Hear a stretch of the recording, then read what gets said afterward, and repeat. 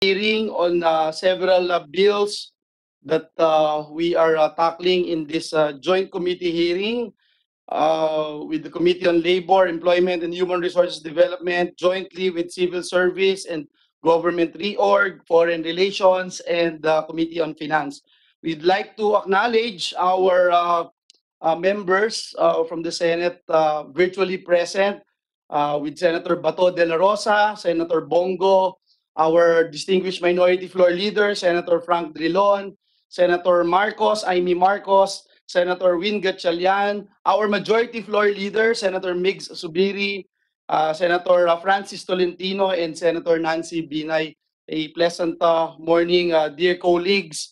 Uh, we would like to also put on record that today uh, we are going to include Senate Bill number 1949. This is the uh, certified uh, uh, measure filed by our distinguished colleague, Senator uh, uh, Bongo. This is uh, this was certified by the President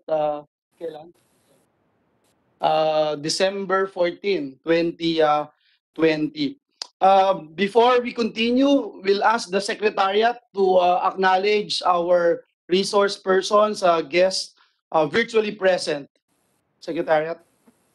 Uh, Good morning, members of the joint committees. Uh, The resource persons invited by the committee are the following. From the Office of the Cabinet Secretary, Secretary Secretary Carlo Alexi Nograles. From the Department of Labor and Employment, Employment, Secretary Silvestre Bello III. And Mr. Rustico de la Fuente, representing the various labor attachés and who is also the labor attaché of Kaohsiung, Taiwan. From the Department of Foreign Affairs, Undersecretary Sara Lu Ariola, Undersecretary for Migrant Workers Affairs, and Assistant Secretary Enrico Foss, Assistant Secretary for Migrant Workers Affairs. From the National Economic Development Authority, Undersecretary Rosemary G. Edelion, Undersecretary for Policy and Planning Group. From the Department of Social Welfare and Development, we have Assistant Secretary Glenda Rilova. From the Commission on Filipino Overseas, we have Secretary Francisco Acosta. From the Presidential Advis- Advisor on Overseas Filipino Workers and Muslim Concerns Office, Secretary Abdullah Mamao. And from the International Organization for Migration, Mr. Troy Dooley, the Program Manager and Head of Programs. That's all, Mr. Chairman.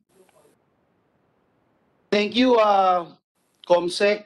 Magandang uh, umaga po. Uh, I just give uh, my opening statement. Muli ho, uh, ma- magandang umaga, magandang tanghali, magandang hapon, magandang gabi at uh, hating gabi po sa inyong lahat. Dahil live po tayo, yan po ang uh, minarapat kong pagbati upang maabot natin ang lahat ng ating mga kababayan saan mang sulok ng daigdig. One in ten Filipinos over, live overseas. Kung nasa ibang bansa po lahat, nasa isang bansa po lahat ang ating mga kababayang overseas Filipino, ito ang magiging 91st most populated sa buong mundo. Mas malaki pa po kaysa sa populasyon ng Sweden, Austria, UAE, Israel o Switzerland ang bilang ng mga Pilipino sa ibayong dagat. Yun pong 2.1 milyong Pilipino na nasa, UE, na, na nasa Middle East as of June 2020, mas marami pa po kaysa 1.8 million projected population ngayong 2021 sa buong rehiyon ng Cordillera Region. Mas maraming Pilipino sa Japan kaysa sa buong Mandaluyong. Higit na mas malaki po ang populasyon ng Filipino community sa Canada kumpara sa populasyon ng buong probinsya ni Senator Amy sa Ilocos Norte o maging sa Ilocos Sur. Today, there are Filipinos in every time zone, every continent, and every sea. The sun never sets on the Filipino diaspora. We are virtually the world's human resource provider from bedside care to financial in- to artificial intelligence. As we speak, Filipinos are digging oil from the frozen tundras to the blazing hot suns of Sahara. They run kitchens from restos with Michelin stars that pamper the rich to eateries that serve budget meals to thousands of laboring masses that grind the mill. Hospitals everywhere also benefit from made in the Philippines talents. Amid the pandemic, Pinoy nurses are the world's frontliners against the coronavirus, caring for the sickest. It comes as no surprise as the Philippines is the largest exporter of nurses worldwide. Pati po ang mga classroom sa Amerika, Thailand, Japan at Mongolia, napasok na rin ang mga gurong Pilipino. In Arizona, Filipinos feel teacher shortages as more Americans become increasingly uninterested in teaching jobs. Because of Filipino household service workers, men and women in many countries can raise families while pursuing careers. Saksi po ako kung gaano karami at kahalaga ang mga Pinay household service workers sa Hong Kong. Bumisita po kami doon kasama si Senator Gatchalian, Senator Zubiri, Senator Angara. Kaya ho, it's not an exaggeration to claim that pulling all of them will would uh, pulling all of them out would crush Hong Kong's economy. Because of Filipino professionals in companies, stores, factories, businesses, and hotels, startups thrived and earned profits. Because of Filipinos overseas, our country are prospered, lifting many out of poverty. At present, 12% po of the national income is the monetized sweat of the overseas Filipinos. These generous remittances buoy our economy up, keeping it afloat in times of economic headwinds. Noong 2019, umabot po sa 1.56 trillion pesos ang kabuang remittances ng mga overseas Filipinos. Ito po yung pinadala sa bangko at remittances centers. Mas malaki pa po ang halaga kung ah, kasama po dito yung personal na inuuwi o ipinapakisuyo sa kababayang umuwi sa Pilipinas. Kung bibilangin po natin ang pasok ng salapi mula sa mga OFWs na parang metro ng taxi, ito po ay 4.276 billion a day. 178.17 million per hour and almost 3 million pesos kada isang minuto. Totoo pong malaki ang ambag ng ating mga overseas Filipino sa gross domestic product. Tunay nga pong dahil sa kanila ay naisakatuparan ang mga pangarap ng kanilang mga mahal sa buhay. Wala po akong duda na nakatulong silang palakasin ang ating rango bilang happiest country in the world. Subalit pagdating naman po sa personal misery index, number one po sila. Money sent can, sent can be measured but misery felt can never be quantified. May invoice po ang perang padala, pero wala pong resibo ang lungkot, hirap at pighati. There are metrics for the economic returns of migration but there is none for its social costs. Hindi pa po uso ang isolation, isolated na sila. Hindi pa man uso ang distance learning, hasana po sila sa distance parenting. Missed routinely were not only birthdays, but the once in a lifetime chance to walk a daughter down the aisle or to bid goodbye to a dying or already dead parent or sibling. Wala pong salaping katumbas ang ganitong kalungkutan. Let me give you more figures. The pandemic that continues to plague economies around the globe displaced more than 520,000 of our OFWs. As of July 2019, there were at least 14,532 Filipinos reportedly languishing in jails abroad. 68 of them are serving life sentence. Add to them the countless OFWs facing legal, health, psychosocial, and financial quandaries. In Kuwait, at least three Filipino household workers died over the last two years. Sino po ba ang makakalimot kila Joanna De Mafelis, Constancia Dayag at Jeneline Villavende na namatay matapos tratuhing masahol pa sa hayop ng kanilang mga employer? At dininig po natin ang kanilang mga kaso dito sa committee na ito. It is against this backdrop that this bill before us should be heard and weighed. Export of Filipino brain and brawn ought to be temporary quick fix and desperate economic solution. Pansamantala lang po sana ito at hindi pang matagalan. Pero nakakalungkot na ito ay naging parang permanente na na ating ginagawa ang pagpapadala ng ating mga kababayan. Bago pa po tumama ang pandemya, 6,092 na mga Pilipino ang sumasakay ng eroplano palabas ng bansa kada araw. Araw-araw, 6,092. Ibig sabihin, kada 15 segundo, may isang Pilipino ang nawawalay sa kanyang asawa, sa kanyang anak, sa kanyang mahal sa buhay for greener pasture. We must consider the larger picture as we define and fine-tune these measures at hand. What is the role of the worker deployment in our economic agenda? What place does it occupy in the future of our nation? Shall we remain as mere merchandise in the global labor market? Or should we start harnessing out our best and brightest for our growth. In either case, how can we do so for the best benefit, for our best benefit? Ang pagbabalangkas po ng Department of Overseas Filipino o DOFIL ay hindi po simpleng reorganization lamang na parang lipat bahay ang mga ahensya sa isang bagong bubong. Hindi po ito relabeling exercise na mistulang pagpapalit lamang ng karatula ng pangalan. This legislation is not about workforce reassignments. Creating the DOFIL is about assigning new potent mandates that will empower the department and the constituency it serves.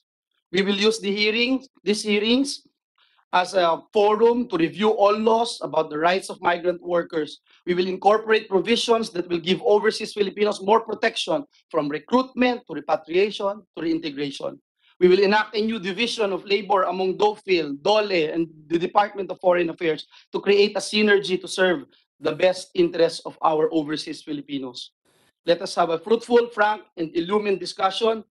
Gawin po natin ito para sa isang maganda at mapagpalang araw o gabi para sa mga bagong bayani ng ating bayan. Sila po ang mga Pilipino sa ibayong dagat na patuloy sa pagkayod at pagsusumikap para matamo ang kanilang mga pangarap, pangarap ng kanilang mga sarili, pamilya at para sa ating minamahal na bayan. Maraming salamat and may God bless us all. At this juncture, I'll give the floor to our uh, colleagues who wanted to uh, make an opening statement or uh, our authors. I can see our majority floor leader raising his hand. Uh, majority leader, you're recognized. Thank you, Mr. Chairman. Just a short opening statement as one of the co-authors. Uh, Mr. Chair, we filed Senate Bill number 1323 in cognizance of the immense contributions of our OFWs to our economy. Based on the 2019 survey on overseas Filipinos of the Philippine Statistics Authority, during the period, Mr. Chairman, of April to September of the same year, the number of OFWs was estimated at 2.2 million, most of which are working as construction site workers, cleaners, domestic helpers, with Saudi Arabia as the most power preferred rather destination.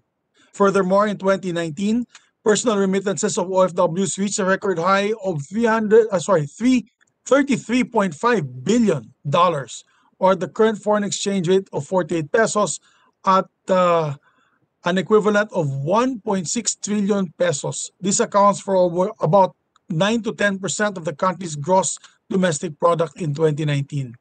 Kung ambag lamang ang pag-uusapan, malinaw na malinaw ng ambag ng ating mga OFWs or overseas Filipino workers sa ating ekonomiya ay hindi matatawaran.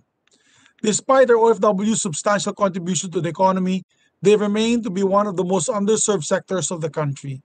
Isipin nyo, they had to endure home homesickness from being away from their respective families. Tapos kapag minalas pa, ay they, ay they face, no, rather physical and psychological abuse and maltreatment in the hands of their employers. You may even recall, the late last year I was very vocal on the case of a maltreated helper by one of our own, our own envoys abroad. Ang kwento nung kasambahay na iyon mula sa South Cotabato ay isa lamang sa napakaraming kwento ng pagmamaltrato ng patuloy na dinadaranas ng ating mga kababayan na nasa ibang bansa.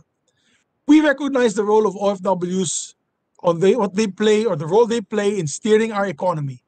Batid natin ang napakalaking tulong ng ating mga kababayan na nakikipagsapalaran sa iba't ibang bansa para mabigyan ng magandang bukas ang kani-kanilang mga pamilya.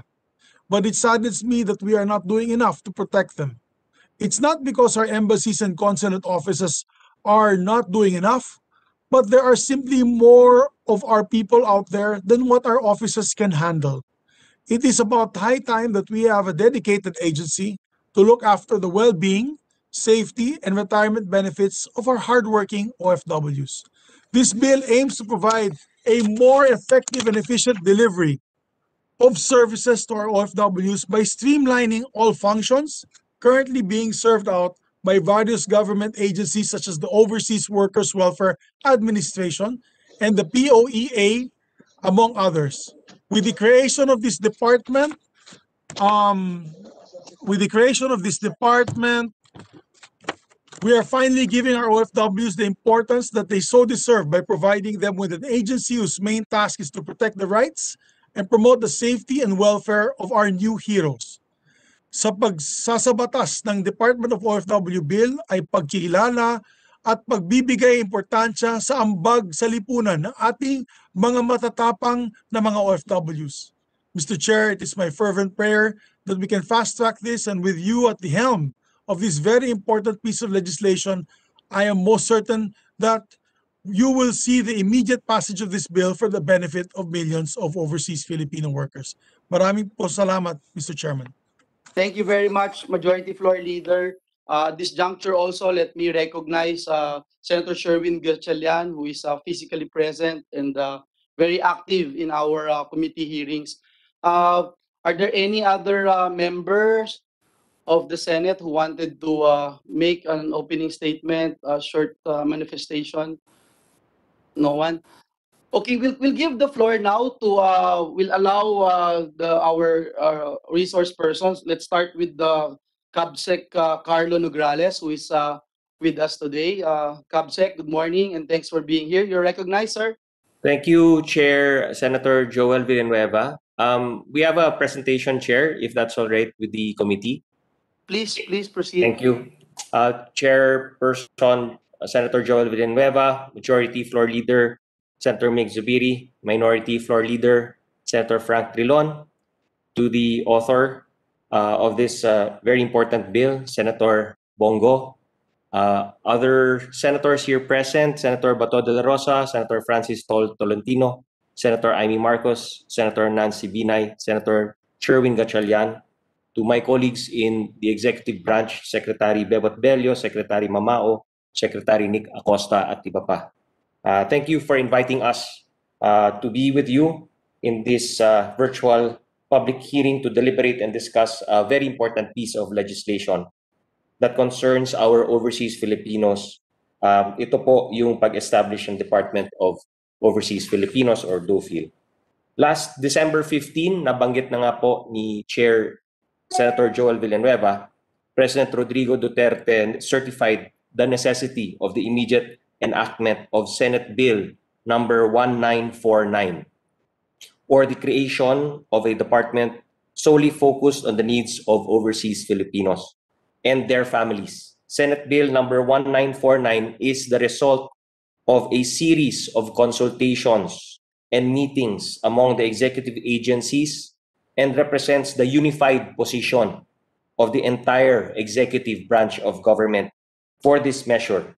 It is our response, our collective response to protect overseas Filipinos, especially ang ating mga OFWs, especially during this COVID-19 pandemic. And it is a great opportunity to really look at the bureaucratic um, dynamics and perhaps even these difficulties in coordinating the protection and the response initiatives natin para sa ating mga mahal na mga bayani ng ating bayan.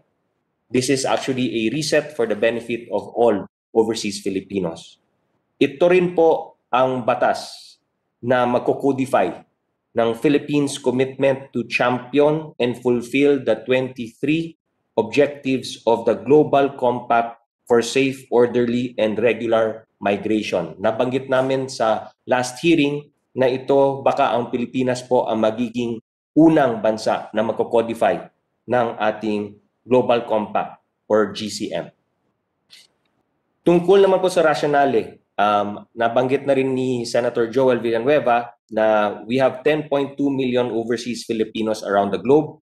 Together, they drive domestic consumption and account for 9.3% of the gross domestic product and 7.8% of the gross national income uh, last 2019. No? So current setup po natin, there are different agencies that have different mandates relative to overseas Filipinos, including those related to employment and those related to migration. Pero wala po tayong single agency kung saan ina-address po ang lahat ng concerns ng ating mga kababayan overseas Filipinos. And uh, this COVID-19 opened up our eyes na kailangan ma-meet up natin ang challenges na ito. So, This new department seeks to streamline and directly manage all concerns of Filipinos overseas, plus their families, plus their dependents in the Philippines, and make our services to overseas Filipinos more responsive, efficient, and effective. Kanya na nga po, kitang-kita po natin dyan ang mandate and function ng proposed DOFIL. Promote the rights, protect the rights and welfare, to formulate, plan, coordinate, and promote the policies, to have a systematic national development program for managing, monitoring overseas or foreign employment, and protect their right to decent work and fair ethical recruitment practices. Tungkol naman sa POEA, ang POEA at OWA po will form as attached agencies ng DOFIL and will serve to complement DOFIL and the specific technical service deliverables to this new department. They shall still form uh, as uh, they shall still retain uh, their mandate as attached agencies no uh, of DOFIL. Pagdating naman sa usapin ng uh, right sizing, kita po natin that we have different agencies attached to different departments. But because of the right sizing, the need to right size, lahat po ng mga ito, o UMWA, SWATO, ISO, which is now called uh, the International Social Services Office of the SWD. Ang UUMWA is ng DFA. Ang International Labor Affairs Bureau or ILAB is under DOLE. Ang Commission of Filipinos Overseas is under the Office of the President. Ang POLO or Philippine Overseas Labor Office is under DOLE. The existing ATN units under DFA and the National Reintegration Center for OFWs under DOLE will now all form part of DOFIL. Yung budget po nila will all be subsumed under the new department. To reiterate, DOFIL is not creating a totally new agency. Instead, it will be an amalgamation of all key offices dealing with migrant, migrant workers protection into a single entity focused on that mandate. It will avoid overlapping functions it will consolidate the budgetary allocations to a single public entity for a better and more efficient service to OFs and their families. These matters we all elaborated on during the December 7, 2020 Senate hearing. However, allow me to restate and to give emphasis that the creation of DOFIL will not be another big budget ticket item on the National Expenditure Program but rather a right sizing solution.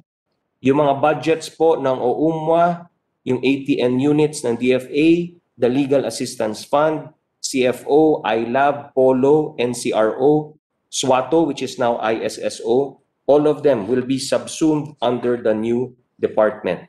However, POEA, which has a budget of 507 million, and OWA, which has a budget of 7.39 billion, will be treated separately from DOFIL because they are going to retain their individual um, uh, existence no, as attached agencies with their own respective charter.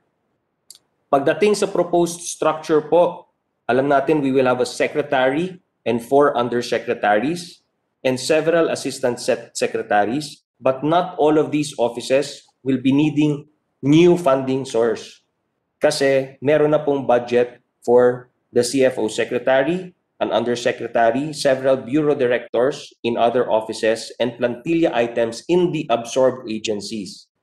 Pagdating sa bahay ng DOFIL, it can be temporarily housed at the CFO leased building or use the budget for the lease of the CFO building to pay for the office space of the new department.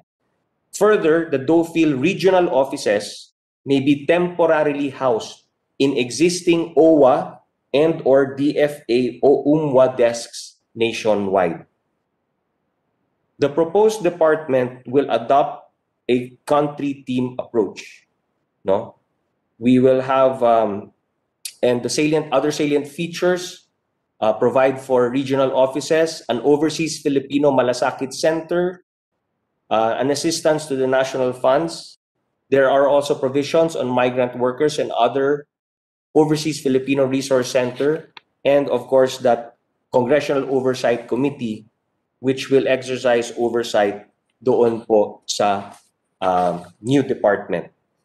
We will adopt country team approach under Executive Order Number 74, Series of 1993, which provides that all officers, representatives, and personnel of the Philippine government posted abroad, including but not limited to trade commissioners, Commission on Filipino Overseas, attaches, and trade information, labor, military, and cultural attaches shall on a per country basis act as one country team with a mission under the leadership of the ambassador who shall act as the team leader.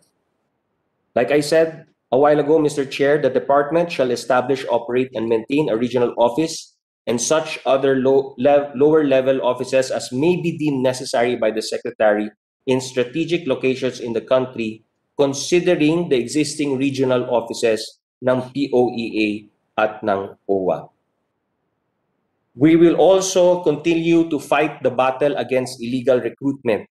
Um, alam na alam po natin yung nangyari noong February 3, 2021, itong taong ito, na may isang taga Lapu-Lapu City arrested by agents ng anti-kidnapping group, Visayas Field Unit at ng Lapu-Lapu Ci- City Police na nagpa-promise ng trabaho as caregivers in the US, United States of America. Inaresto na po siya with two counts of illegal recruitment and seven counts of estafa. In other words, even in this pandemic, illegal recruitment continues to be a problem, and the DOFIL, in partnership with other government agencies and local government units, will cure that by establishing overseas Filipinos malasakit centers in strategic locations of the country to ensure prompt, vital, and relevant services to migrant Filipinos and their families. Ang mga serbisyo na to will include acquisition of clearances and permits, validation of overseas job offers, reintegration services, and the provision of pertinent seminars and workshops for all their stakeholders. Yung assistance to national funds po shall be consolidated with the assistance to the legal assistance fund and the administration of these funds will be transferred to the Department of uh, Filipinos uh, overseas, no, yung DOFIL, mula sa Department of Foreign Affairs. And as I mentioned a while ago, the uh, proposed Congressional Oversight Committee will be composed of six members from the Senate and six members from the House of Representatives to continue to monitor and oversee the implementation of the law. To conclude, Mr. Chair, the contributions of OFWs and migrants to the country cannot be overlooked. Large remittances from about 10 million overseas Filipino workers and migrants is one of the many reasons for the Philippines economy to continue being relatively resilient even despite global economic shocks, even despite this ongoing pandemic. Madalas sinasabi, sila po ang bagong bayani. At ika nga ng isang uh, decision ng Supreme Court through Justice Andres B. Reyes Jr., he wrote that it has been oft repeated that overseas Filipino workers are the Philippines' modern-day heroes. They brave the waters of the seas to provide for their families and to help boost the country's economy. With this proposed measure, Mr. Chair, dear senators, we can provide the comfortable life that OFWs, migrants, and their families so richly deserve. Maraming maraming salamat po. Thank you very much, uh, Cabsec Carlo Nograles. Let me also put on record and uh, remind uh, the body that it was the Senate who pushed hard for the uh, expansion of the access to uh, assistance to nationals, uh, uh, which we passed a couple of, uh, I mean, a year ago, thanks to our members of the Senate. We'd like to hear, I'm sure everyone would like to hear from the Department of Labor and Employment. We can see Secretary Bello uh, with Admin Hans and Admin Olalia. Uh, Secretary Bello, uh, may we hear from you? You're recognized, sir. Thank you, the Honorable Joel Villanueva, Chairman of the Committee on Labor, uh, the Honorable members of the committees, the Honorable Senator Mig Subiri, uh, Senator Nancy Binay, of course, my former boss, Senator Franklin Deron, and my kababayan, Senator uh, Amy Marcos. Ah, hindi ko na po alam yung iba, Honorable Chair, pero may I just address Yeah, I, I will try to help you. Senator Bato de la. Rosa is uh, logged in. Senator uh, Win Gatchalian is with Oh. me here, physically present. Eh, Senator Vincent Win Gatchalian, of course, my idol, Senator Bato de la Rosa. Magandang umaga po sa inyong lahat and may I also address my co-workers in the Executive Department, uh, Secretary Carlo Nograles, magandang umaga po sa atin lahat. May, may I start, Your Honors, by saying that the Department of Labor fully supports the creation of DOPIL. And we also fully support the creation or the inclusion in the creation of DOPIL, the agency or the bureau, which is called the Bureau of Labor, International Labor Affairs Bureau. We have, however, your honors, just a simple request that our International Labor Affairs Bureau under the Department of Labor be maintained and its function which we would like to enumerate to be maintained under the Department of Labor, Your Honors. And these are the functions which provide technical and administrative advice to the Secretary relative to issues and concerns confronting the world of work that may have impact on domestic labor and employment policies of the department and the latest and relevant international development in the world of work that may be adapted to local context in order to attract investment into the Philippines, which may subsequently result in the creation of decent local employment. Another function, Your Honors, is to help ensure that trade agreements entered into by the country are favorable to the Philippines and will benefit Filipino workers. It also includes the function to monitor the enforcement of the Philippine commitments and obligations with other international organizations like the United Nations, the International Labor Organization, the ASEAN, the European Union, and other related multilateral and regional bodies through coordination with relevant government agencies and other stakeholders. And also, Your Honors, to assist in the implementation of the provisions of international conventions, treaties, and among, and among others, to represent the department in the bilateral, regional, and multilateral fora to promote the interests of Filipino workers. With that, Your Honors, we again reiterate our support for the creation of the Department of Overseas Filipinos. Thank you very much, Your Honors.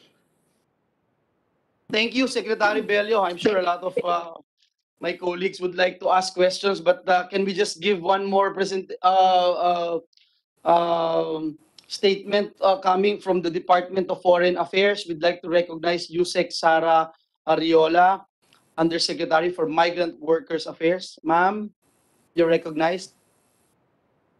Good morning, Mr. Chair. Um, Majority Leader Mig Subiri, Minority Leader Drilon, Senators Binay De La Rosa, Marcos, Tolentino, and Go, um, the Secretary Cabsec Nograles, Senator Be- uh, uh, Secretary Bello, um, and the other and our other colleagues in government.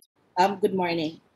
Uh, we don't have a presentation, but we'll just read their statement because our presentation might be a reiteration of what Capsec Nograles already said. The, um, the Department of Foreign Affairs um, that is joining the meeting today thanks the committee for this opportunity to address uh, the issue of the Department of Overseas Filipinos. Mr. Chair, the Department of Foreign Affairs appreciates the rationale for the creation of the new department as the recognition of the Philippine government's solemn duty to protect the rights and to promote the welfare and interest of Filipinos overseas. Let me be clear, the DFA is fully supportive of the creation of Department of Overseas Filipinos. For the past 25 years, mandated the Migrant Workers Act of 1995 to protect our Filipino migrant workers, the DFA has been at the forefront of protecting OFWs and safeguarding their welfare anywhere in the world. The DFA has made great strides in its assistance to nationals operations and delivery of assistance services to distressed overseas Filipinos, such as rescue and repatriation, setting up of shelters for runaways and distressed overseas Filipinos, attending to their illnesses and hospitalization, obtaining the best lawyers to defend their rights, and in several instances, settlement of immigration fines and penalties imposed by the host government on our repatriates. At the multilateral front, the DFA led the Philippines' active engagement in the negotiations for the adoption of the Global Compact for safe, orderly, and regular migration to protect all Filipino migrant workers against all forms of exploitation and abuse and guarantee decent work consistent with the President's directive that the Filipino is no slave to anyone, anywhere, and everywhere. The DFA is the lead, leading the charge in the anti-kafala campaign in the Middle East, where we are currently seeing labor reforms, particularly in Bahrain, Qatar, and most recently in Saudi Arabia and Oman. With the creation of the new department, the DFA welcomes another hand in this difficult and wide-reaching task. Mr. Chair, the new department will be the first in the world to reflect a country's full commitment to champion the 23 objectives of the Global Compact for safe, orderly, and regular migration. Moreover, the creation of the new department is a great opportunity to look at the difficulties of coordinating protection and response initiatives for OFWs. For the Philippines, which has more than 10 million Filipinos living and working overseas, the creation of the new department could not come at a better time. Migration is a reality of our time and it is our state responsibility to make it safe, orderly, and regular. Thank you very much and good morning. Thank you, uh, Yusek. Uh, I've been getting a lot of text messages from my dear colleagues, so perhaps we could uh, start the ball rolling unless uh, some of our colleagues would like to uh, make a quick uh, statement. But anyway, uh, we have with us uh, Senator uh, Win Gatchalian, who is physically present. Uh, would you like to start? Yeah, uh, we, we give the floor to uh, Senator Win Gatchalian. Thank you, Chairman. Thank you very much. Um, thank you uh, to the um, uh, executive departments who presented earlier. I just have some basic questions, no, and this has been uh, plaguing uh, this topic when it comes to um, the creation of um, a Department of Over- Overseas Filipino Workers. I want to ask uh, Cabsec Nograles. Um, crea- creating a department like this is also signaling, no, and um, for many many years no um the goal is to create domestic jobs no padamihin ang trabaho dito padamihin ang nagnenegosyo in fact uh, all the pieces legislations uh, enacted um, this past few years were all geared towards expanding our local economy and expanding jobs. Pero ngayon uh, CABSEC uh, we're now creating a new department geared towards addressing the issues of our OFWs, um, parang nagsisignal rin ho tayo na gusto ho natin dumami pa yung nagtatrabaho sa abroad. At ah, parang sa mga ordinaryong kababayan ho natin, ang sinasabi natin, eh okay lang umalis ho kayo sa abroad dahil meron tayong isang departamento na hahawak sa mga ganitong uh, issues at problema ho natin. Ah, ako po, supportive po ako sa mga ginagawa ng pamalaan ho natin para matulungan ang ating mga OFWs. Ah, katulad po ng sinabi ng ating chairman, ah, nung pumunta ho kami sa Hong Kong to talk to our OFWs, ah, makikita ho natin yung iba't ibang kwento ho nila at talagang kailangan ho natin ah, tutukan yung kanilang mga hinaing. Uh, but with this proposal, uh, Capsec Nograles, we're in effect signaling that uh, mag-abroad kayo dahil meron na tayong departamentong hahawak sa mga problema.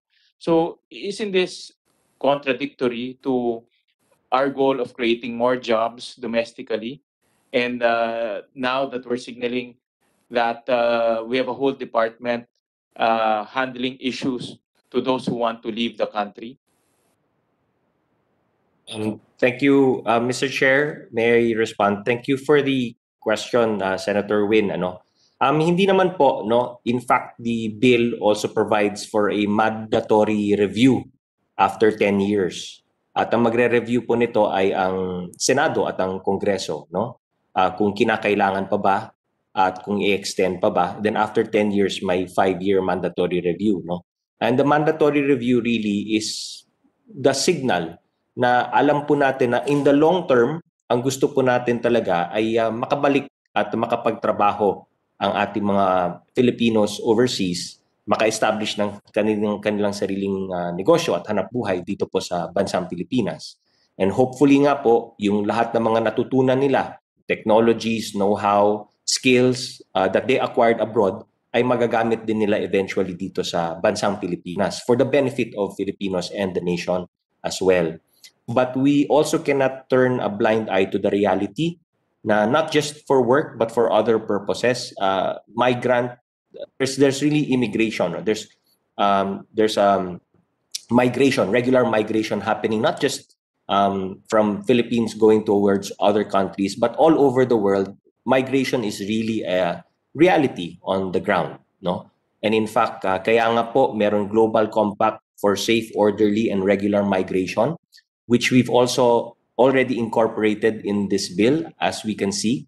Um, and that will really make sure na mapapangalagaan po natin ang uh, kapakanang, kapakanan ng ating mga kababayan abroad.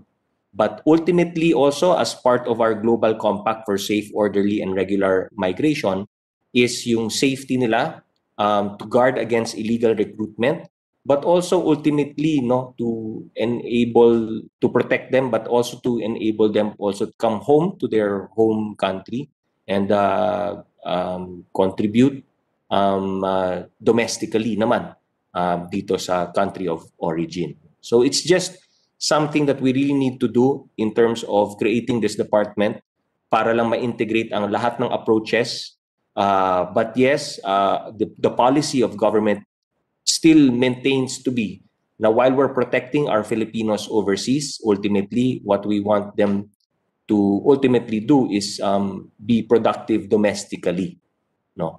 Um, and that that's the reason why there's a mandatory review um, ng uh, ng creation ng uh, department na ito, Mr. Chair.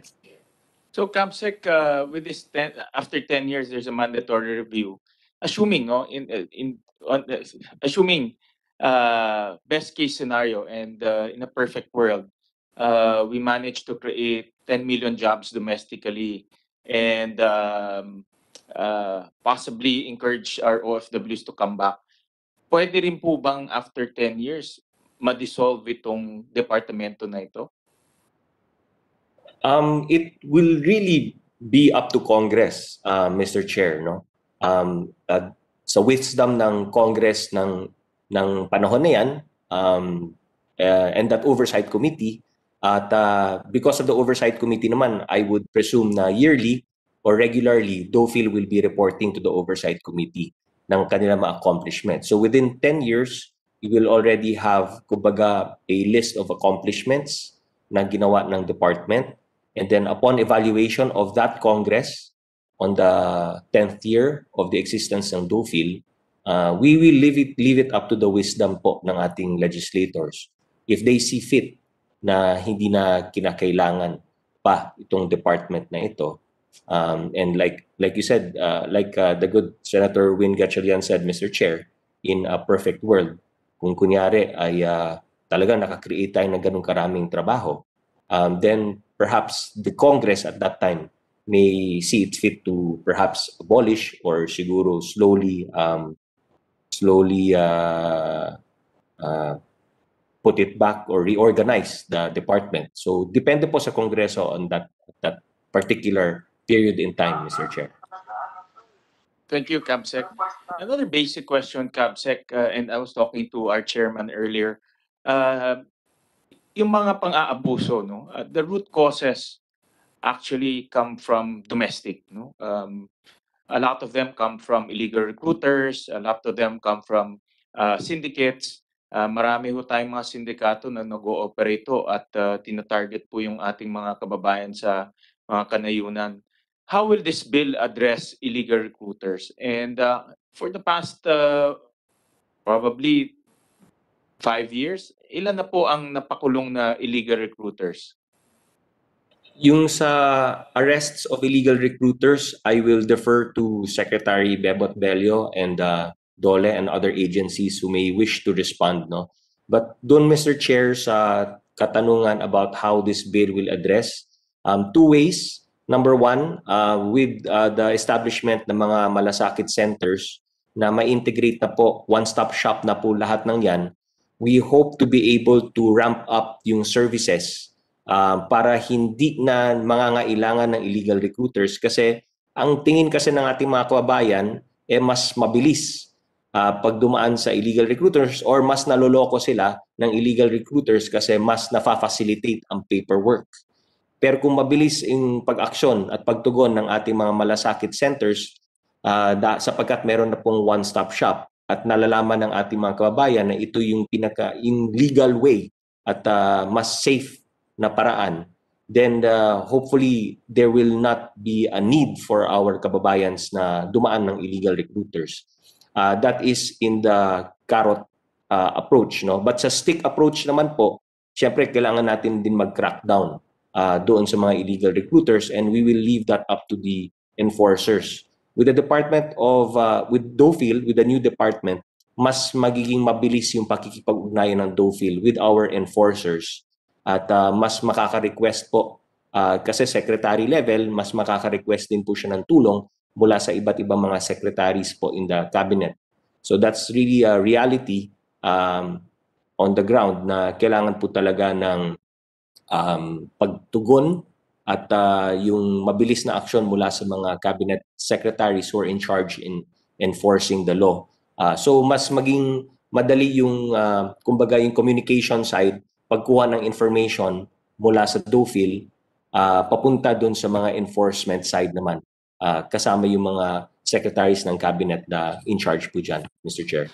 Thank, thank you. Before we hear uh, from POEA, perhaps with the uh, questions raised by uh, Senator uh, Gatchalian, just like to uh, show you something, uh, Secretary Bello, uh, Admin Olalia, no? If you look at the data right now, as uh, pointed out by uh, Senator Gatchalian, it's very, it's, it's very uh, important that we look into this, no? Uh, can you make it bigger, please? Just that particular uh, Ayan ho, pag tinignan niyo po yung uh, endorsed uh, for preliminary investigation, number of cases handled, etc.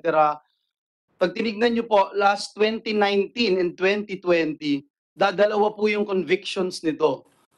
And so we'd like to find out, and uh, I joined the, the, the gentleman from uh, Valenzuela, what would happen if we create DOFIL, uh, will we be able to address this and uh, yung hundreds na mga cases po na ito, dalawa yung convictions, eh tataas po ba ito? Uh, may we hear from uh, POEA or Secretary Bello? Thank you. Uh, thank you, Your Honor. Uh, first, let me inform the Honorable Committee that there is an interagency to go against illegal recruiters, Mr. Chair. And second, we have to admit that uh, we have very few convictions, Your Honor. Now, let me find, let me explain why. First, Your Honor, many of the illegal, recruiters are now foreign-based. Unlike before, Your Honors, that most of our illegal, illegal recruiters are locally based. Now, we have more illegal recruiters based abroad, Your Honors. Second, and this is very uh, sad to say, Your Honors, that many of our uh, victims of illegal recruitments are willing victims, Your Honors. Alam na nila na mali yung pinapasukan nila and yet they uh, they ano they gamble with the offers of these illegal recruiters. So much to your honors that when the case is pending, that's why I don't blame the Department of Justice why mababa ang conviction because many of these cases, your honors, result in dismissal Why, Your Honors? Nag-execute ng affidavit of desistance yung mga complainants. So, when the complainants execute that affidavit of desistance, mawawala talaga yung kaso. And this is Secretary, I'm sorry, Secretary, just to uh, cut you out. Uh, we were talking Yes. about it ni Senator Win. Kung alam na po nila na ganun pala yung sitwasyon at alam nyo din po, uh, what what is the department doing or what what is uh, what what POEA is doing? Kinancel ho ba kagad nila kung alam na ho nilang ganun? Cancel yung order, cancel yung uh, kung ano man yung representation noong uh, illegal recruitment na yon? Tama po, Your Honor. Tama po na kinakancel ng POA yung mga lisensya niyan. Pero even without the license, Your Honors, they operate.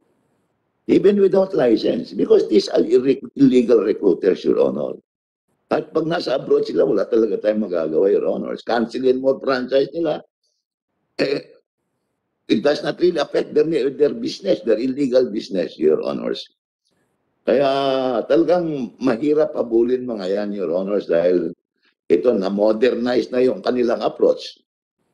Yung alam nyo naman po na yung mga nire-recruit nila, kung minsan galing sa Mindanao, they fly to Palawan, from Palawan, they go to Malaysia, and then from Malaysia, they go to Hong Kong, Hong Kong, and from Hong Kong, to, they go to the eastern countries. Ganito yung ano, na pala, pa, kalakaran na yun sa illegal recruitment. Na high-tech na po sila, Your Honors.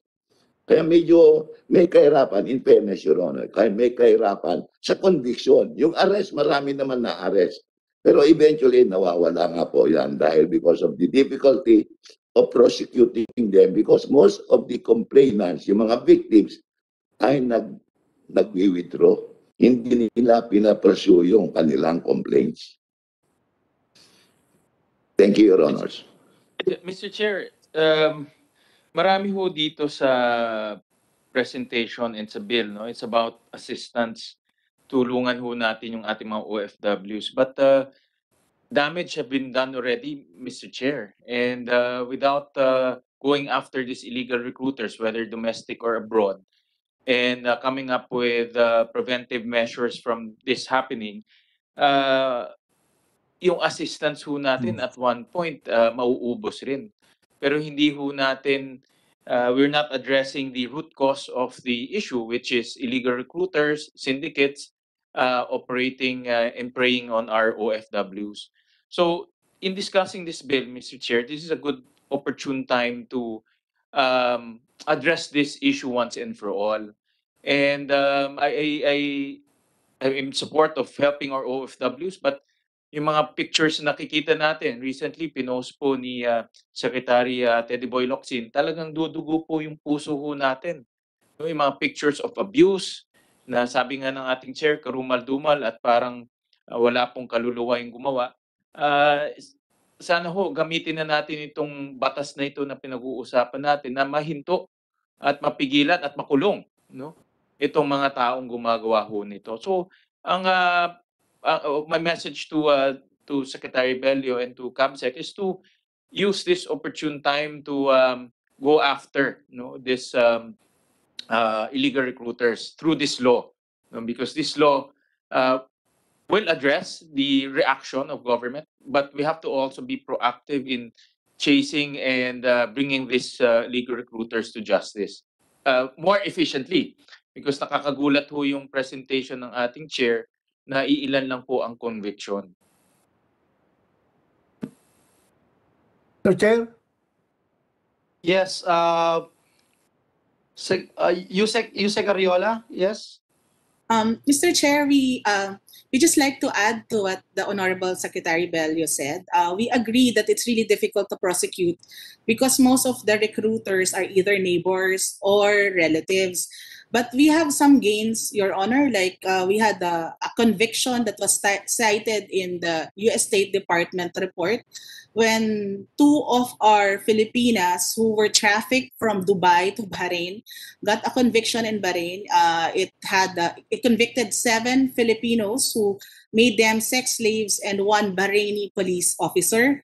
It was done without them going to Bahrain. It was only through uh, affidavits with the with the help of of course ayakat and our uh, nbi um, we also would like to say that most of them most of the uh, they they do not have normal work permits. They use visit visas. They enter to through dubai and like our case in syria. And from dubai they are trafficked to a country with an alert level 4 where there's war like syria we realize this is because they want to circumvent the process of the PUAA. Um, and uh, this has been difficult. That's why we've been uh, working very closely also with our Bureau of Immigration. And I, I understand yesterday they were able to stop uh, the um, the travel of four Filipinas who were going to Dubai because it seems that they are trafficking in persons victims. Um, Your Honor, we'd like to assure you that we are doing everything we can to, to, to help our kababayans. But I think there's been more apparent now that, uh, especially during the pandemic, that many of our repatriates are um, holders of visit visa. And we've been working closely with OWA um, through the kindness, of course, of Administrator Kakdak, who has been considering them as OFWs, even if they're holders of visit visas, because they are undocumented workers. Um, also, Your Honor, I think it's something that uh, that the abuses that were posted by Secretary Locsin, they were not illegally recruited. These are uh, household service workers, but then because of kafala and also because of abusive uh, employers, they were um, they were subjected to abuse. So there are two things that we are looking at, Your Honor. One is the trafficking in persons, and secondly is the kafala that is existing in the Middle East. That's why we are closely working with our partners and other, and other countries of destination to institute reforms. Thank you, uh, Your Honor. I think the bottom line here is, will it be addressed by DOFIL, itong mga uh, issues that we are raising? We have heard about Dole, uh, Secretary Bello, it is very challenging. And we'll give the floor to Senator Bato, sorry, uh, uh, Idol. Uh, just, just one quick uh, uh, intervention lang. Um, for example, itong uh, third, uh, ano nga tawag dito, yung third uh, country recruitment, I think it's very challenging. And uh, I, I share the sentiment of Secretary Bello, mahirap, uh, pero ang hirap din po na isipin na parang helpless na rin po tayo. No? And uh, I think, uh, correct me if I'm wrong, for example, the, the DOLE and DFA can uh, actually engage in bilateral agreements with countries with large OFW population you know, so that we can be able to um, monitor and um, uh, penalize this uh, foreign recruitment agency. So I hope uh, na-intensify po natin yon and uh, again, yung bottom line na tinatanong ni Senator Win and uh, I, I join him is paano ito ma-address with the creation of the department. I'll give the floor to Senator Bato. Yes, uh, Senator Bato. Thank you, Mr. Chairman. Uh, alam nyo, I, I, I agree with the the statement of our colleague, uh, Senator Win Gatchalian.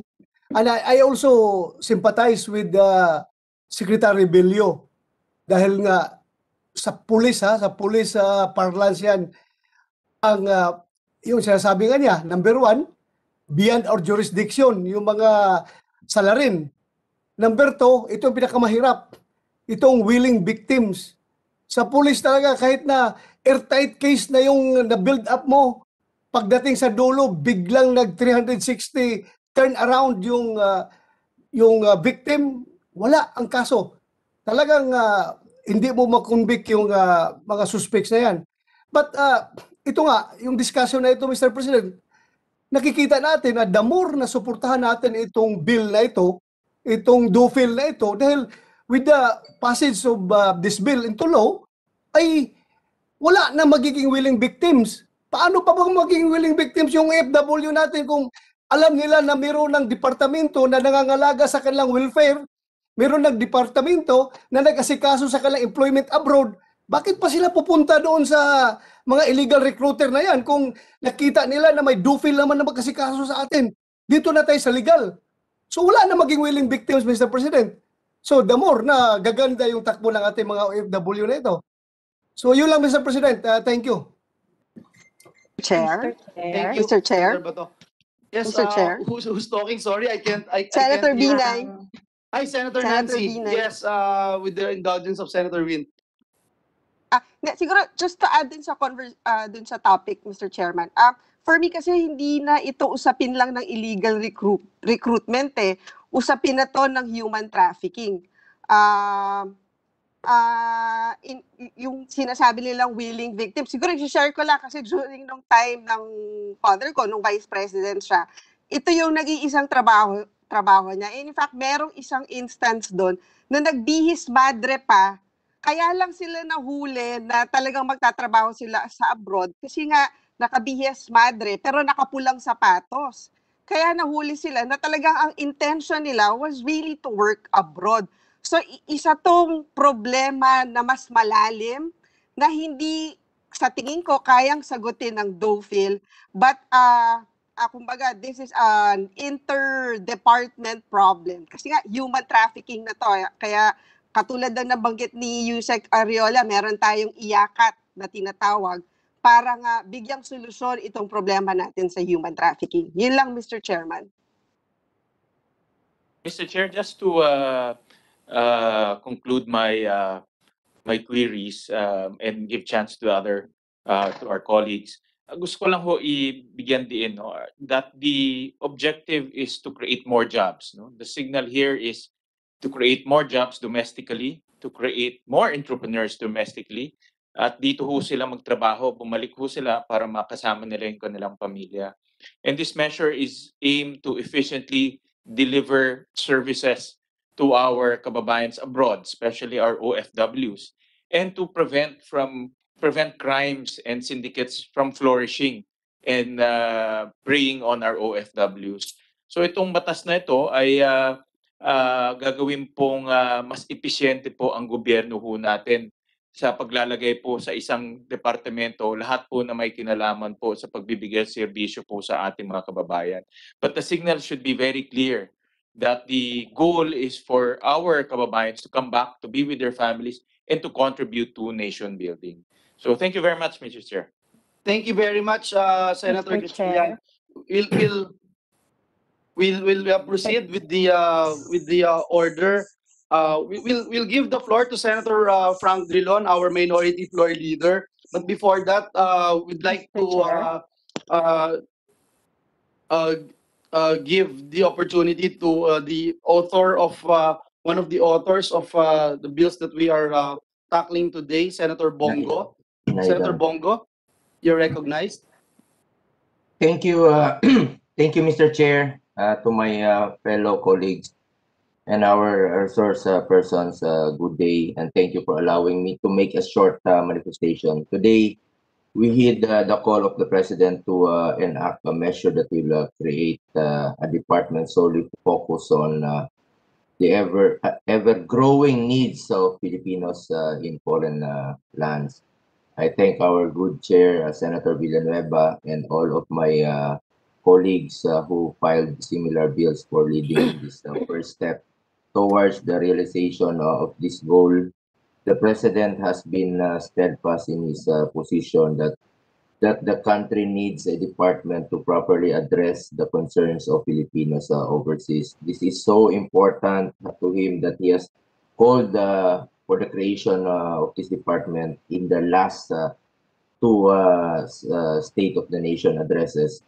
Simple lang po ang layunin ng batas na ito. Gusto natin na magkaroon ng isang ahensya ng gobyerno na magsisilbing timon para sa lahat ng concerns ng ating mga kababayan sa ibang bansa. Para naman po ito sa ikakabuti po ng mahigit uh, 10 milyong Pilipino na nakipagsapalaran po uh, sa ibang bansa.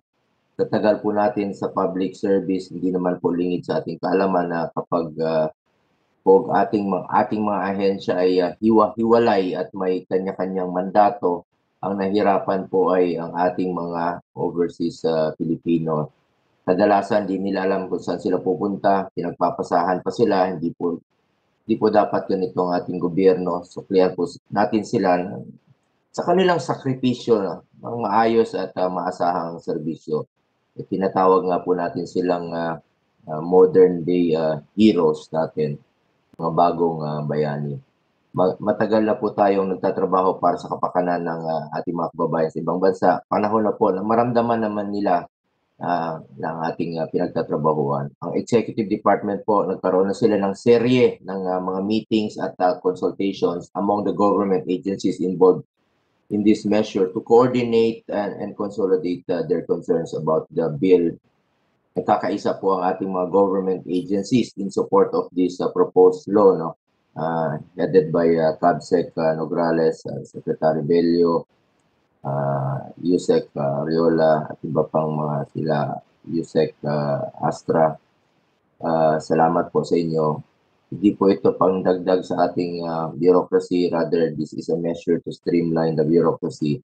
Kaysa naman hiwa-hiwalay ang ating mga ahensya na nagsisilbi sa ating mga overseas Filipinos, hindi po ba mas maganda na nasa isang bubong na lang sila, isang uh, team, isang mandato, kailangan po mayroon tayong one country team approach para uh, pero ang pinaka-importanteng boses po na kailangan nating pakinggan ay ang boses po ng ating mga overseas sa Pilipinos. Napakarami po ang nagsasabi na bakit natin uh, mer- merong mga nagsasabi na bakit natin kailangan gumawa ng uh, isang departamento. May gumagana naman po ang ating SETA. With all uh, due respect po, iba naman po ang nangyayari sa ground. Nahirapan po ang ating mga overseas na Pilipino. Paano natin mas paano po natin masasabi na gumagana ang ating sistema is sa tuwing ako po ay umiikot sa ating mga kababayan, uh, paulit-ulit po ang kanilang mga hinaing. Sana po ay alalahanin natin na sila po ang nangangailangan dito, pakinggan po natin sila, intindihin natin kung saan po sila nanggagaling. At the end of the day, para naman po sa kanila itong isinusulong nating batas. Nandito po tayo, hindi hindi para maghain lamang ng mga batas na hindi kailangan. Nandito po tayo para magbigay ng solusyon. Nakikiusap po ako sa ating mga kasamahan na sa pagsiservisyo dito sa Senado. Help us uh, craft this law and help us uh, craft this in a way that uh, would uh, truly work and achieve its uh, intended objectives. Uh, uh, maraming salamat sa mga kasamahan ko rito, sa mga colleagues ko, of course, kay uh, Senator, uh, our minority floor leader, Senator uh, Frank uh, Drilon. Maraming salamat. Uh, napakadami po ng ating mga kababayan sa ibang bansa uh, na naghihintay po ng uh, tulong natin. Uh, maraming salamat po. Thank you, Senator uh, Bongo. At this juncture, we Mr. give the floor Chair. to... Yes? Uh, Yusek Astra. I'm sorry, uh, we have, we have, uh, an order here. We'll, we'll, we'll give the floor to our minority floor leader, has been, uh, waiting Okay. for quite a long time. Our, uh, minority floor leader, Senator Frank Drilon, you're recognized. Uh, Thank you, Mr. Chairman. Uh, I have been listening intently to all the presentations for the past one hour, and I can appreciate the uh, um, uh, various views uh, uh, put forward by our different government agencies. Uh, Indeed, being part of the cabinet, with the president having certified uh, this measure, um, it is incumbent upon them to defend the creation of this department uh, for overseas Filipino workers. That's natural. I don't blame them, although they had different positions in the past on precisely the same issue. Uh, but having said that, Mr. President, I think I can claim a little experience on this point. Uh, I started my government career as Secretary of Labor, and I have had uh, first-hand experience on these problems and uh, uh, was able to address many of these problems as a Secretary of Labor then. Of course, I'm a little bit dated. I was there um, about 30 years ago, but hearing what the proposed, what what the problems are, um, it's not nothing uh, that is uh, new to me uh, in various uh, forums. I have uh, uh, confronted this. Having said that, Mr. President, may I be given time to review carefully the propositions and the position papers of the various cabinet members. Uh, I would like to have uh, a copy of the presentations. Uh, uh, uh, I will review the transcript um, but particularly the presentation of Secretary Nograles, the presentation of the DFA, the presentation of the Department of Labor and Employment. Just give me a little time to review all of this before I raise uh, questions so that it can be a substantial discussion on the issue at hand. So with that, Mr. President, may I defer my uh, questions uh, to some future uh, hearing set by this committee. Thank you very much, Mr. President, Mr. Chairman. Thank, thank you very much, uh, distinguished minority floor leader, and we'll put this on record that you are not uh, at all aging. You're always updated, uh, distinguished minority floor leader. Every single measure that is being passed in this August chamber, eh, talagang uh, uh, fully scrutinized by our minority leader, and uh, he makes sure that uh, every single measure that will be passed will be quality uh, uh, measure, quality uh, laws of this uh, country. So again, thank you, uh, distinguished uh, minority floor leader, and we take note of your uh, uh, uh, uh, request, and uh, we we uh, direct the secretariat to uh, make sure that uh, not only the minority floor leader but all the members of the Senate be given a copy of the position. Uh, uh, positions of the different agencies of the government, including the presentations made by uh, our uh, cabinet secretary and uh, uh, DFA and other agencies. Next in line is our um, distinguished colleague from Davao, Senator Bato de la Rosa, if he's online. Parang okay na po yan, Chairman, yung binanggit niya kanina. I'm not sure. Okay. Yes, sir. Senator Mig Subiri, of course, our majority leader, will will uh, will um, will uh, give the floor to you if you Yeah, if you It's okay, wish Mr. to- Chairman. I think some resource persons want to be recognized. Uh, we have, I think, the Yes. OFW, OOPA Secretary, Office of the Yes, President, uh, and if also that's the case, we can we can recognize uh, our uh, representative from uh, CFO and the Overseas Filipino Workers and the Muslim Concerns. We have Secretary uh, Abdullah Mamao uh, who's with us. Yes, sir. Uh, you're recognized, sir. Uh, Thank you very much, uh, Your Honor. Uh, I would like to go back uh, on the issue pointed out by the Honorable Senator Gatchalian. And uh, it is about the effective uh, uh, prosecution of illegal recruiters. The problems that we are facing are not only illegal recruitment, but also tra- human trafficking. And I had seen this in my travels to the Middle East especially in uh, Iraq and in Kuwait and uh, in Saudi Arabia, and for that matter, in uh, some parts of the Middle East. Uh, one thing that uh, I would like to point out, uh, Mr. Chairman, is that uh, in the matter of uh, prosecution, as pointed out by Secretary Bilio, there is that problem of uh, lack of interest on the part of the victims. I would like to say that this is one thing that can be the subject of legislation where the matter of prosecuting uh, crimes on illegal recruitment and human trafficking can be considered uh, as public crimes. In other words, even if there is withdrawal of the criminal complaints, the prosecution for that matter can uh, proceed with the prosecution of these criminal cases. And uh, from the data that uh, was just presented, it seems that uh, we have uh, sort of uh, a very, very lax uh, prosecution of these criminal cases. So the leadership on this new department will really be a very important component on the creation of this department that will serve as a very effective uh, organization on uh, international labor migration.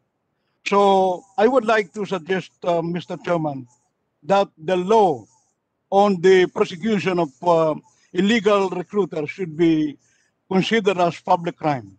And one thing also, uh, in relevant to the prosecution of drug offenders, maybe one uh, consideration that could be made is to consider uh, the crime of illegal recruitment as uh, non-bailable offenses, so that in the event uh, uh, a a respondent is accused and uh, there is an information filed, that respondent will remain in jail until the case is prosecuted, prosecuted successfully by our prosecution department. Thank you very much. Thank you, Secretary Mamao. Uh, from the Commission on Filipinos Overseas, I I I, I was hearing kanina si uh, Yusek uh, Astravel. Hello, uh, Mr. Yes, Chair. You have the floor. Yes, please. can you hear me? Yes. Um, I would just like to make an intervention regarding the human trafficking and illegal recruitment.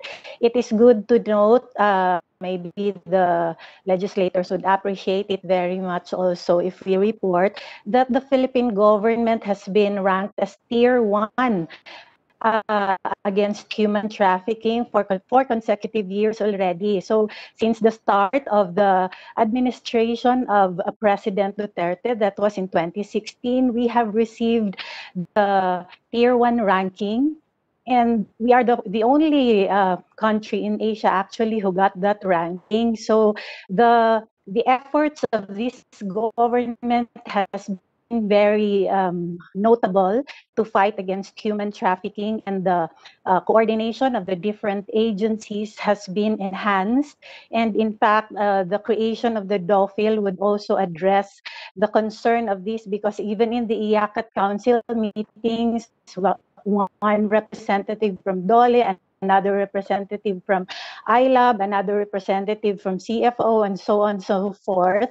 But when the DOFIL is going to be created, there's only just one voice that's going to be uh, consolidated in the IACAT Advocom and the coordination for, for, for these efforts will be done uh, by of the different uh, agencies, migra- uh, migration agencies, will in fact be consolidated and there will only be one voice and one command that is going to be given by the secretary. So uh, we believe in the CFO that uh, as the IACAT Advocom chair, we believe that with this uh, creation, it will address a lot of the issues. And so we would like to recognize all, of, of course, the um, marching orders of the president to really fight against human trafficking and illegal recruiters. And in fact, there are many cases. We could ask the DOJ to um, give also to this committee the report on the convictions, the recent convictions, the recent cases that the uh, IACAT has done for to fight against illegal recruitment and um, human trafficking. Thank you, Mr. Chair. Thank thank you, Yusek Astravel, no? And uh, again, uh, we are we are with the uh, the executives when you talk about the importance of having a department that would solely focus, laser focus, and concentrate in the affairs of our uh, overseas uh, Filipinos. But uh, no less than the secretary himself made mention uh, from the Department of Labor and Employment that this is very challenging, no? And uh, uh, Senator Win and I are talking about how we, DOFIL will be able to help address the problem of um, uh, illegal recruitment, the problem of third country uh, uh, recruitment, the increase of third country recruitment, especially uh, after this pandemic, nag, nag-shoot up po ito, no? And uh, as mentioned earlier, I think with the um, establishment of a Department of uh, Filipino Overseas, perhaps th- th- there, there will be uh, uh, a focus on uh, addressing the the uh, engagement of bilateral agreements with countries with large OFW population. Again, to monitor and penalize yung mga foreign recruitment agencies. We'll give the floor to Senator Amy Marcos. Uh, Senator Amy Marcos, you're recognized.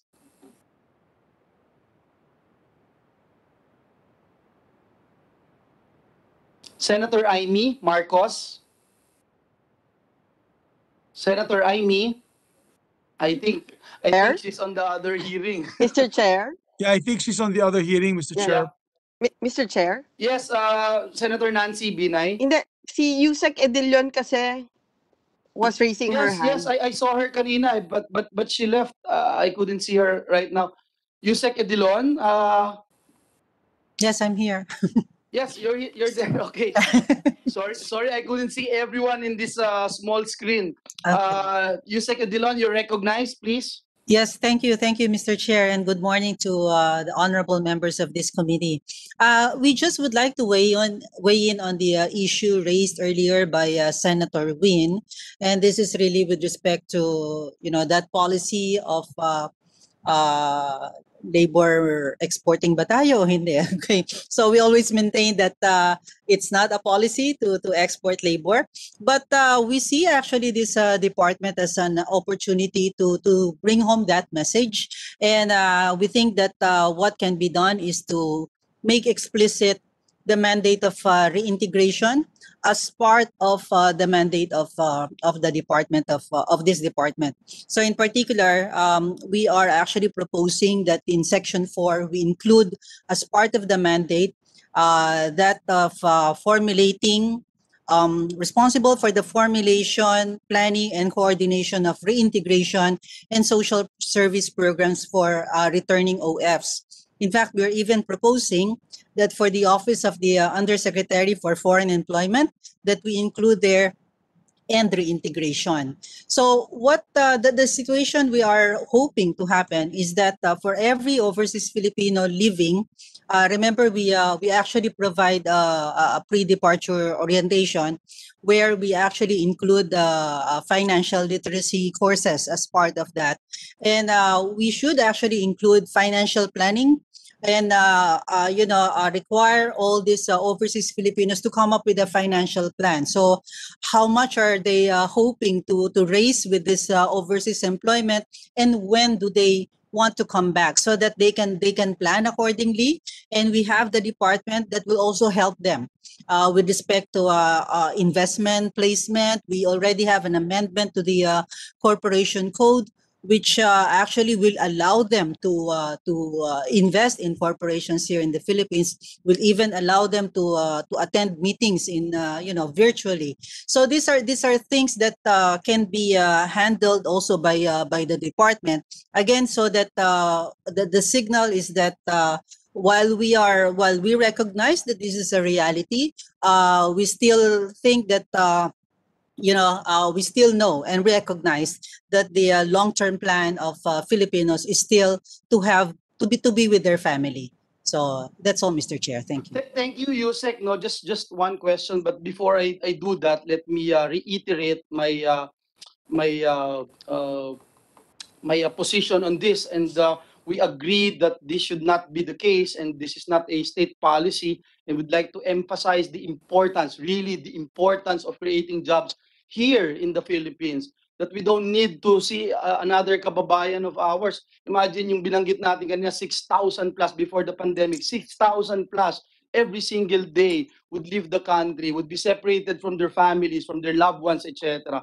So importante po talaga yung uh, pag-create ng uh, paglikha ng trabaho dito sa ating bansa. At yung binabanggit niyo po, Yusek Adilon, yung reintegration. No? I just remember sa China, sa China yung, uh, yung, yung policy nila, uh, they utilize their overseas uh, Chinese professionals by introducing policies by to provide formal incentives to returning professionals to conduct uh, research and practice their profession through uh, facilitating scholarships, uh, grants, funding, etc. Ito yung gusto natin mangyari no, once we we put this uh, uh, uh, uh, new department of uh, Filipinos uh, overseas. But uh, let me ask you one question, Yusek. Uh, when you when you talk about uh, right sizing, uh, fiscal space, I, I remember during the budget hearing, ang NEDA had, had, had uh, a strong reservations on uh, establishing a new department no? Uh, when it comes to right sizing principles tsaka itong uh, fiscal space. Uh, does our government have enough fiscal space if we uh, if the proposed department uh, will be passed uh, uh, this year? Because that's our uh, goal. And uh, number two uh, can you give us estimated uh, uh, total uh, budget requirement for the initial implementation perhaps maintenance of this uh, proposed uh, department and siguro how much also will be saved considering that uh, uh, upon the presentation of uh, uh, CABSEC uh, Nograles, yung mga agencies i- i- pagsasama-samahin. So, yung mga uh, nag-overlap na, na mga positions, eh, magiging uh, synchronized po yan. Makakasave po tayo. Can you give us a, a- just a ballpark uh, figure, uh, Yusek Adilon? Thank you. Yeah, thank you, Mr. Chair. Uh, actually, it was uh, the office of uh, of of CABSEC who consolidated all the inputs with respect to this. Uh, uh, yes, this was actually the uh, the the issue, the concern raised by the economic managers. But uh, we now recognize that uh, uh, this could actually be the way to really come up with a more efficient delivery of services. So we think that uh, having so many departments uh, in charge uh, is uh, may not be the optimal uh, way of uh, delivering the service. And so we don't have the the ballpark figure, but we are looking at all those numbers that were mentioned by by CABSEC that if it's really a matter of um, you know putting together all these uh, previous uh, bureaus or departments in charge and then uh, you know the uh, the, the budget uh, uh, parking it in in the in the department then um, it could be a way of of rationalizing it. But actually I, I would defer to the to the DBM to come up with the, the with the more exact um, numbers with respect to uh, how, how much does it really take to uh, to start an, uh, uh, a, a department. In, in fact, one of our, our comments as well is to provide for a longer transition for this department. I think the bill states uh, that it's just for uh, six months. We are actually proposing two years because we are in a pandemic. There are so many um, so many uh, problems that could come up that requires very very uh, immediate uh, response. Uh, and uh, if you have uh, you know a, tra- a transition being done which is you know massive transition at that then it could hamper the the response. So but but we think that if we allow for a longer transition then that would be that would take care of the of the issue thank you mr chair Okay, thank you. Uh, si Cabsec Nograles would like to, uh, if you want to, to say something about about about the uh, questions raised, if you have uh, some figures. I think we also have uh, from DBM si Director Meng Hamal, who's also with us.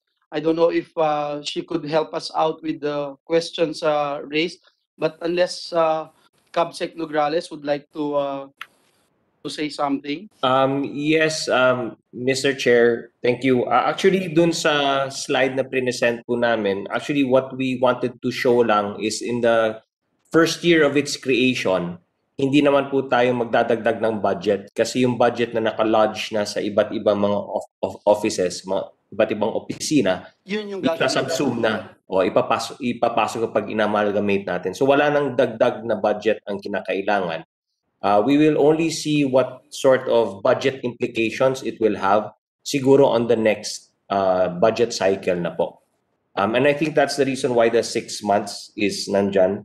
Uh, because wala naman tayong babaguhin sa budget, nandyan na po yung budget. So if, for instance, uh, Congress is able to pass it this month, March, mapirmahan na ni Pangulo, then you just have six months towards the end of 2021 to be able to just subsume what is in the OMWA, yung existing ATN units, yung sa Legal Assistance Fund, sa CFO, sa ILAB, sa POLO, sa NCRO, at sa ISSO. Lahat pa naman yan ay gagamitin dun sa panibagong ah, um, department at wala naman tayong i-create na bagong ah, undersecretary siguro ah, muna kasi meron ng isang USEC na i-absorb na position. Um, and then um, siguro yung next next budget cycle ipapasok na lang po natin. And that's the reason why we want it sana passed na, Mr. Chair, para we can already, uh, when Congress begins to deliberate on the 2022 budget, then uh, doon na po natin makikita, na, ninyo, na makikita both the Senate and the House, kung meron pa bang karagdagang budget ang kinakailangan for 2022. But very minimal lang siguro, Mr. Chair. Yes, thank you. Mr. And Chair. perhaps na next hearing, if we could uh, hear something from uh, DBM, kasi kung isi-synchronize po yung ilang mga positions, definitely we will uh, be able to save some uh, some uh, monetary ano ho, no, funding for, for for the department. And another thing that I'd like to raise is that uh, DBM during the uh, budget hearings, I remember they were um, kind of uh, having second thoughts about uh, creating a department last year because of the fact, uh, in, in the light of the uh, Mandanas decision by uh, fiscal year 2022 that uh, would impact the overall personal services level. of our uh, public sector. No? So I hope uh, na, na ano po natin. I think Senator Amy Marcos, oh, Senator Mig Subiri, our majority leader, Yeah. would like to add something. Yes. Yeah. Just just to add, because um, CAPSEC is online, Secretary uh, Bello is online, my dear colleagues uh, in the executive department are online, and they're listening. What is important is we don't create false hopes for our kababayans na OFWs. We have to create a department that is actually uh, uh, that can actually help them out. 'Di ba? Kasi mahirap naman sabihin natin uh, sa kanila, gagawa tayo ng Department of OFWs, pero Huwag kayong mag-alala, sila na bahala sa lahat ng problema ninyo. So we have to make sure uh, that we're not providing false hopes with them and that there is a clear-cut structure in place on how their grievances can be heard and how their grievances can be uh, uh, solved. Because I- I'll give you an example. We created recently the Department of Housing. But my question always is, did we increase the number of houses in our country na low-cost houses because of this new department? So, ang ayaw ko mangyari bilang author nitong Department of uh, Filipino Overseas Workers ay meron tayong isang departamento na wala namang nagagawa. Bumabalik pa rin sila sa dole, bumabalik pa rin sila sa ambassadors para sa kanilang mga uh, tulong at pangangailangan. So, I need the support of the, the, the we need the support of the executive how to really make this work kasi kayo ang implementors eh. Kami we can write the best law but if it is not implemented properly naka-ere no? Na, they're still hanging. All our OFWs will still be hanging. And then eventually sasabihin nila walang hiya. Tong department wala namang ginagawa para sa amin ito. Ayaw natin yan. We have a a chance now from the very beginning to make a good law. To make sure that it is responsive of the needs of the OFWs bilang isang author. And that is the input that we need from the executive department on how we can make it work. We see already the bottlenecks, we see the problems of financing, we see the problems of uh, personnel, even in the emb- embassies abroad. So, wag po natin itong gawing shell cabinet uh, portfolio. It has to be a working cabinet portfolio. So yun po ang kailangan namin because I'm listening I'm listening intently to the discussions with all due respect to our different government agencies but uh, we need specifics on how it will make it better not a mere absorption of the departments that are now existing is not enough to create a a a powerful efficient effective department as we had seen in the creation of the Department of Housing. I do not see a tremendous amount of new houses in the countryside. So, sana, eh yung Marawi eh, kami ni Aimee, di ba, at ni Sen Bato, hirap na hirap kami sa Marawi at ah, yung mga bahay dun kulang pa. So, uh, let's work together on how you can give inputs that can actually directly improve uh, the versions that we have already filed. Para, para to sa ating mga kababayan ng OFWs, let's not give them a white elephant, let's give them a very efficient and effective department. Thank you, Mr. Chair, and I will continue listening intently for better, uh, for you. other uh, uh, increased uh, additions to our bill to make it work. Thank you very I- much, our distinguished you, majority floor leader who worked so hard for this uh, committee hearing to uh, continue and uh, being very supportive of the this uh, measures at hand. I am a living testimony. I've seen uh, firsthand how our majority leader uh, takes care of our uh, OFWs, no? And uh, as mentioned earlier, when we went to Hong Kong, uh, he made a lot of our kababayans happy uh, during during that time. And again, thank you, Majority Floor Leader. We give the floor to Senator Amy Marcos. Yes, she's here. Okay, Senator Ay, Amy, you have the sorry. floor. Sorry, medyo nagja-jogging kami between DA and uh, Senator Dick. So um, I uh, logged in earlier and then went on to other places. So I'm back. As uh, Arma said, let's be careful that we don't unduly raise expectations. It's important that uh, we home in in into the uh, actual target. Uh, as we know, there are three categories of Filipinos abroad. There are those who are permanent, there are those who are temporary, and the irregular migrants. In temporary, ang commonly na tinatawag nating uh, OFW. Ah, talaga bang um, i-target natin lahat yan or uh, liliwanagan natin? Kasi it's very, very important that uh, we're very clear so that um, hindi natin sakupin lahat. And as uh, Majo said, uh, masamang experience natin pag hindi rin naman napopondohan at na hindi rin nabibigyan ng maayos na direksyon yung uh, department, sayang lang, title lang yung department at saka sahod lang ng limang USEC ang binabayaran. Wala lang. Um, the other thing that I really needed to know was, um, is there a real resumption of placement abroad? Full-blown na ba yan? Na-discuss ba kanina? Kasi litong-lito po yung uh, mga dito sa norte, yung mga na-repatriate, kung makakabalik ba yung mga NARS, hindi ba pwede yan? Ano na ba talaga yung sitwasyon? Kasi ang pagkaalam nila, hindi pa sila pwedeng i-repatriate. So medyo nagkakagulo lang. I just uh, needed an update. Uh, you don't need to answer right now, but it's important given the discussion about Bayanihan 1 and 2, the uh, um, disbursements for the uh, OFW uh, items in both those laws need to be um, explained and finalized. Yes, do we have, DBM? Ay, sino yan?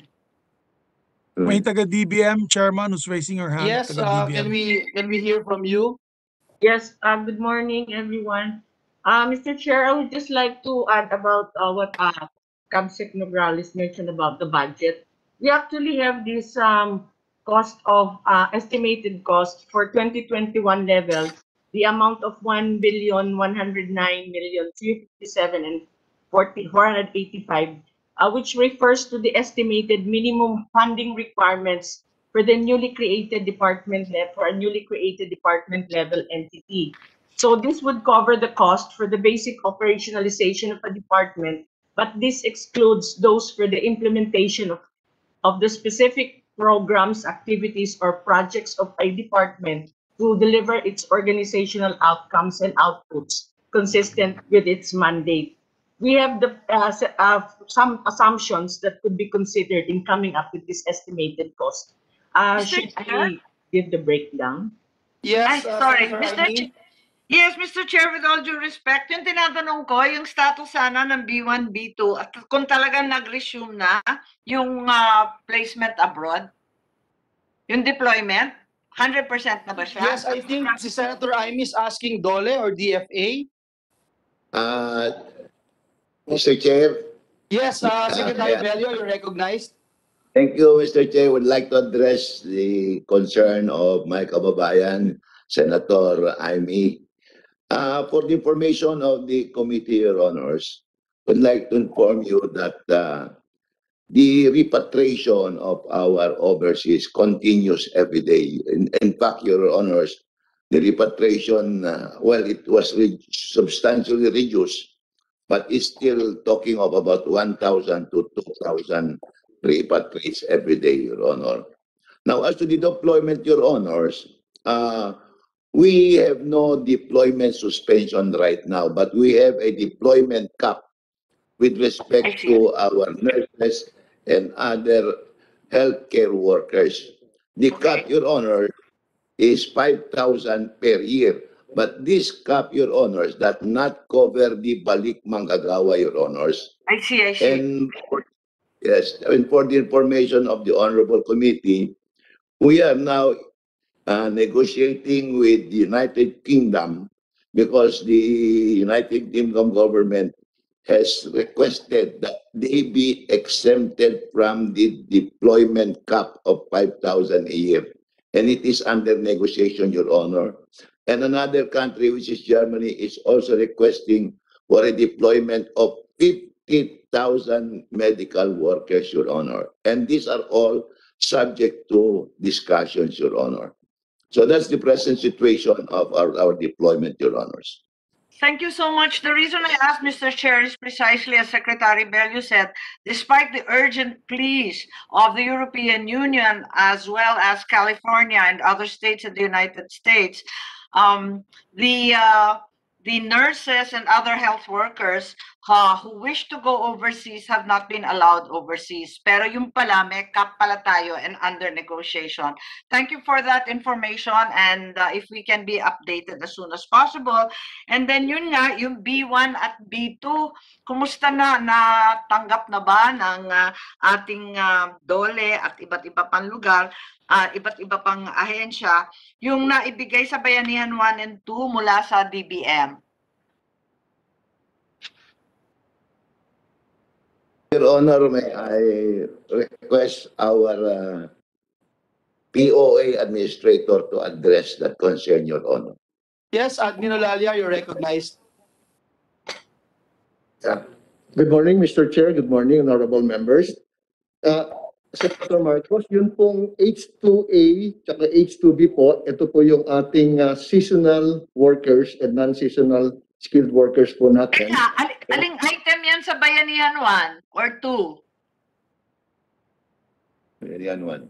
Oo, to clarify lang, kasi yung naintindihan lang po namin, yung Bayanihan 1 and 2 eh. Baka, baka yung uh, detailed project listing na yan. Uh, these are the seasonal workers, uh, ma'am. And uh, according to the US uh, government, uh, tinanggal na po nila yung uh, yung uh, restriction sa atin, no? So yung H2B, I think, uh, they are allowing now. Are you referring to an American visa? Is that correct? Yes, yes, yeah. Yes, ma'am.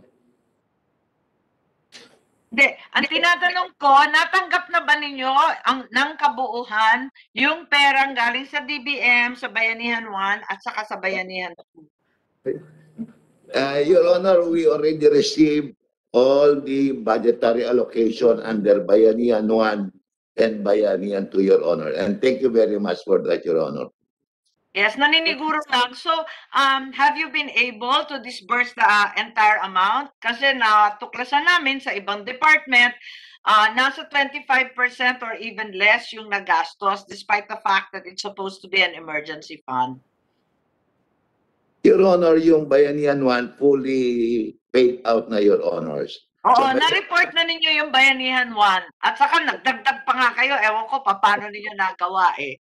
Yung Bayanihan 2, Yung Bayanihan 2, Your Honors, sa malapit nang maubos na rin, eh, yun na lang pong appropriation for our OFWs under the ACAP program. Eh, meron na lang po siguro naiiwan na mga almost 400 million pa, Your Honors, to cover about 40,000 OFWs. eh, sigurado naman kulang yung AKAP. Yung abot kamay sa pagtulong, Your Honors, that is our program for our OFWs. We are giving them a cash assistance of $200 on site and it's a peso equivalent of 10,000 if they be repatriated, Your Honors. Yes, that's right, Secretary. Kaya sigurado ako madali lang gastusin yan, kulang pa. So if you could just submit the breakdown for Bayanihan 2 so that uh, we have uh, it on record. And then lastly, Mr. Chair, I'm just being difficult, but out of sheer desperation, um, over the repatriated OFWs, uh, Cabsec uh, Nograles is here. Uh, there is uh, the possibility, of course, of simply expanding the PEO. In the meantime, uh, with an executive order, po pwede ba yun? Na i-expand yung authority, uh, bigyan na muna ng budget kung hindi pa natin kaya.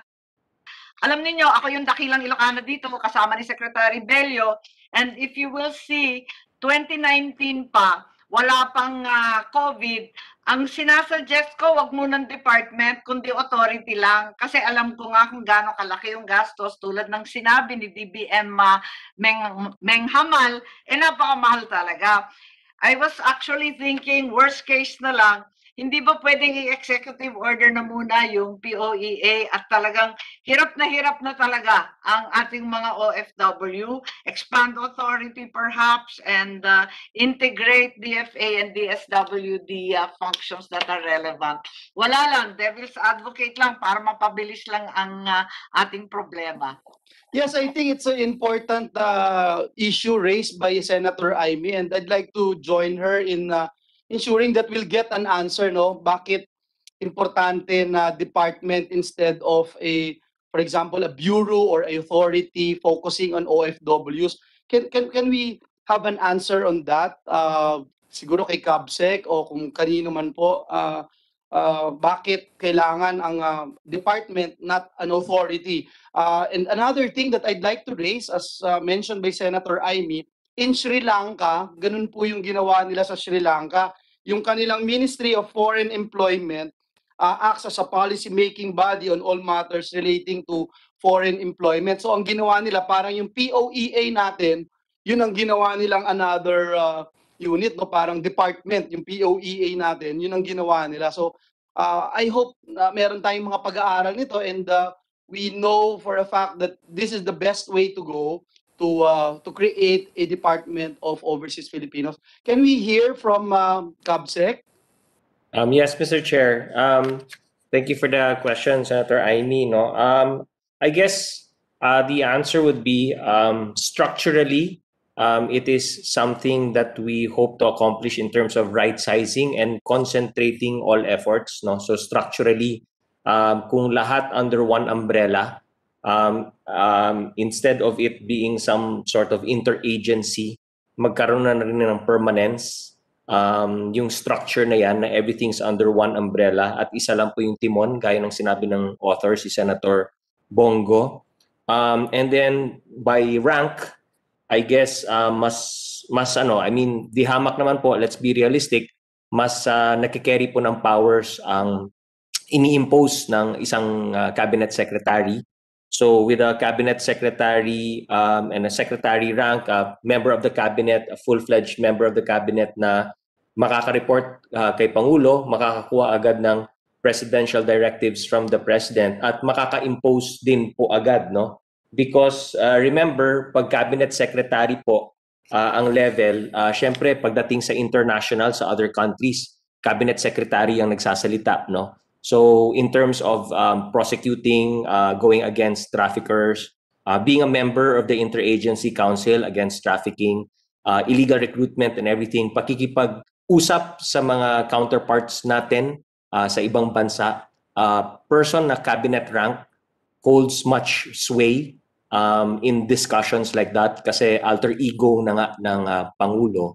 So maraming advantages po. And then thirdly, um, Um, of course, uh, we want to do it very, very fast, uh, as said by Senator Aimee. But um, if, I guess, kung the choice is between an authority and a department, uh, mas pipiliin po ng uh, executive branch at ni Pangulo ng, na rin mismo. Uh, kaya nga po nag-issue na siya ng uh, certification of urgency uh, so that uh, the Senate uh, would uh, take uh, into recognition that si Pangulo na rin ang nakikiusap na department na. Kasi same effort na lang din po kung we uh, do an authority or a department, the, prefer the preference with all due respect, um, Senator Aimee, uh, Mr. Chair, is uh, department level na po.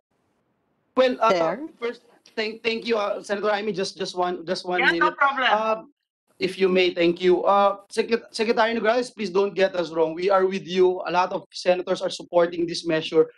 I, for one, is very passionate about this. In fact, we believe that there's really a need for a, a, a, a one agency government, whether it's an authority or department, that would really focus on the uh, affairs of uh, uh, our uh, beloved Filipinos overseas, especially our Filipino, uh, our OFWs, no?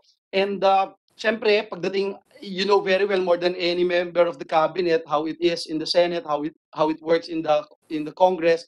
Uh, after the committee hearings, we will be on the floor. We will be debating on it. We'll be scrutinizing the measure, etc. I'll be the one sa uh, defending the, the the measure. And and it's important that we talk about this, no? As I mentioned earlier, yung uh, Sri Lankan model, yung yung parang POEA nila, yun yung ginawa nilang uh, Ministry of Foreign uh, Employment. Now, when you talk about, uh, as I was listening attentively to your uh, uh, statement, yung, yung importance of mainstreaming our OFW services. Yung pong ginawa ng India in 2004, uh, they established a separate ministry for overseas uh, employment. No, ang ginawa nila yung Ministry of External Affairs which is similar to our Department of Foreign Affairs, yun po doon nila nilagay yun, no? So DFA, their, their DFA in India handles this uh, OFW uh, services. So again, uh, ang point lang natin is we, we, we- we, we look into all these models and we say this is really uh, what is best for our uh, situation for for yung, yung setup uh, present setup natin uh, with with a lot with millions and millions of our overseas Filipinos abroad. Uh, yes, Yo, just- Senator Amy, Mr. please Chair. Yes, Mr. just to- Chair, with with the permission of Sen. Aimee, related. Yes, Mr. uh, Chair. Senator Binay, uh, with the indulgence of Senator Amy. Senator Binay, you're recognized. Okay lang, Sen. Aimee? Yeah, yeah, sure. Okay. Eh, yun lang, um, Mr. Chairman, kasi di ba parang nasabi ni Cabsec Carlo, with the creation of DOFIL, parang may secretary na nakatutok. But we we do have a secretary. I mean, Secretary Delio is there who also has the ear of the president. So, ano yung magiging diferensya with the creation of DOFIL? Mr. Chair, may I respond? Yes, please, please, please, Cabsec, thank you. Magand- maganda yung tanong ni uh, Senator Nancy, no? So basically, parang um, if you look at DOLE and the per- the portfolio of the Department of Labor and Employment, napakalawak. So siguro ang ma-imagine or ma-envision po natin, pagdating sa OFWs or even overseas Filipinos, not just OFWs, but for the Department of Overseas Filipinos ang mag-handle ng overseas Filipinos concerns, no? Whereas si Secretary Bello at the Department of Labor Employment will, will can really now focus on job job generation, employment domestically. So parang uh, that way we especially with this COVID-19 pandemic na maraming nawala ng trabaho, uh, if we have the two departments really working on employment, no, um, protecting our Filipinos overseas, um, how to get them uh, back uh, working there and even reintegrating them back domestically. And then si sa DOLE naman, protecting our domestic um, um, Filipino workers naman domestically, no? Uh, ang lahat ng mga kababayan natin mga Pilipino na nagtatrabaho dito. So parang ganun, it's magkaroon ng um, we hope to be able to accomplish even more protection for uh, workers, either overseas or domestically.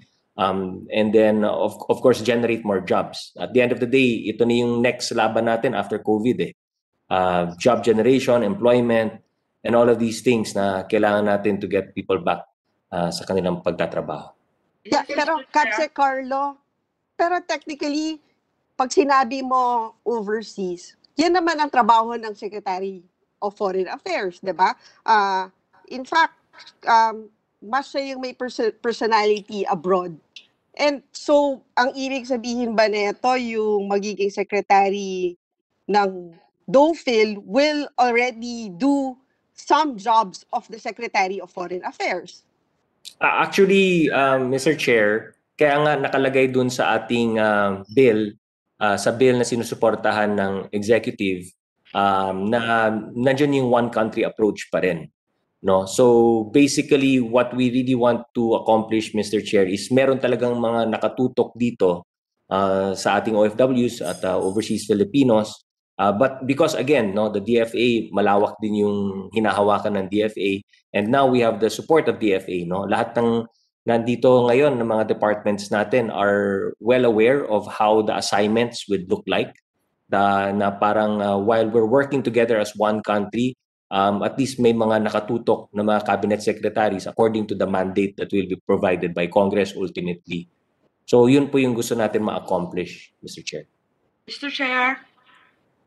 Senator Amy, you may uh, continue. Thank you. Yes, thank you. Thank you very much. Uh, CABSEC Nograles has uh, given us three compelling reasons that a department is required. To my mind, um, these are not that compelling. After all, unang-una, yung structurally right-sizing, surely the opposite would occur. Given that, as Majority Leader uh, Subiri has said, sawang-sawa na tayo sa ating mga shell uh, departments na wala naman nangyayari kasi wala naman budget, wala naman liderato, ay para ke pa.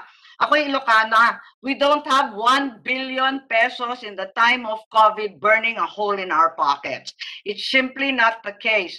I filed the authority long before because the expertise, in fact, lies with POEA. You cannot, even if you endow uh, this new department with all kinds of money, you cannot overnight generate the kind of skill sets required for the psychosocial repatriation of our OFW. You cannot uh, mandate all these labor relations and other uh, requisites that we would need in order that our migrant labor populations would be ready for the new normal and be ready for the new regional adjustments. Secondly, yung isang timon, ah hindi naman natutulog sa pansitan si Secretary Bello at ganon din ang tapang-tapang ni Secretary Locsin. Sa palagay ko, maliban pa dyan, si Presidente nakailang beses na rin na ginagawang cabinet rank yung hindi namang cabinet, katulad ng NEDA. Ang tagal na ng NEDA na authority lamang. Pero secretary po ang tawag natin, higit sa lahat ang kausap niyan, World Bank, IMF, FATF, ang tataray at nang bobongga ng mga kausap. Eh hindi naman totoong sekretary kung tutuusin, wala naman department yan. Ikatlo, ang sabi po ninyo, quickly. Ang nangyayari, hindi po quickly. I'm fully aware that this was part of the uh, platform and the promises of President Duterte when he ran in 2016. But 2016 to 2021 has been a very, very long time. So uh, I am uh, really very uh, um, keen that uh, we carry on already. Kung EO lang yan, sige na lang. Pero importante talaga na magkaroon tayo ng isang ah, ah, namamahala sa ating mga repatriated of OFWs. You made the distinction between uh, local and international labor. There is no such distinction. Thousands, hundreds of thousands have been repatriated and have now been forced to look for jobs in the local workplace. Thank you po. Thank you very much, uh, Senator Amy, and uh, we hope to to get uh, clearer uh, picture in the coming uh, hearings. Uh, why is it really important? No, uh, we cannot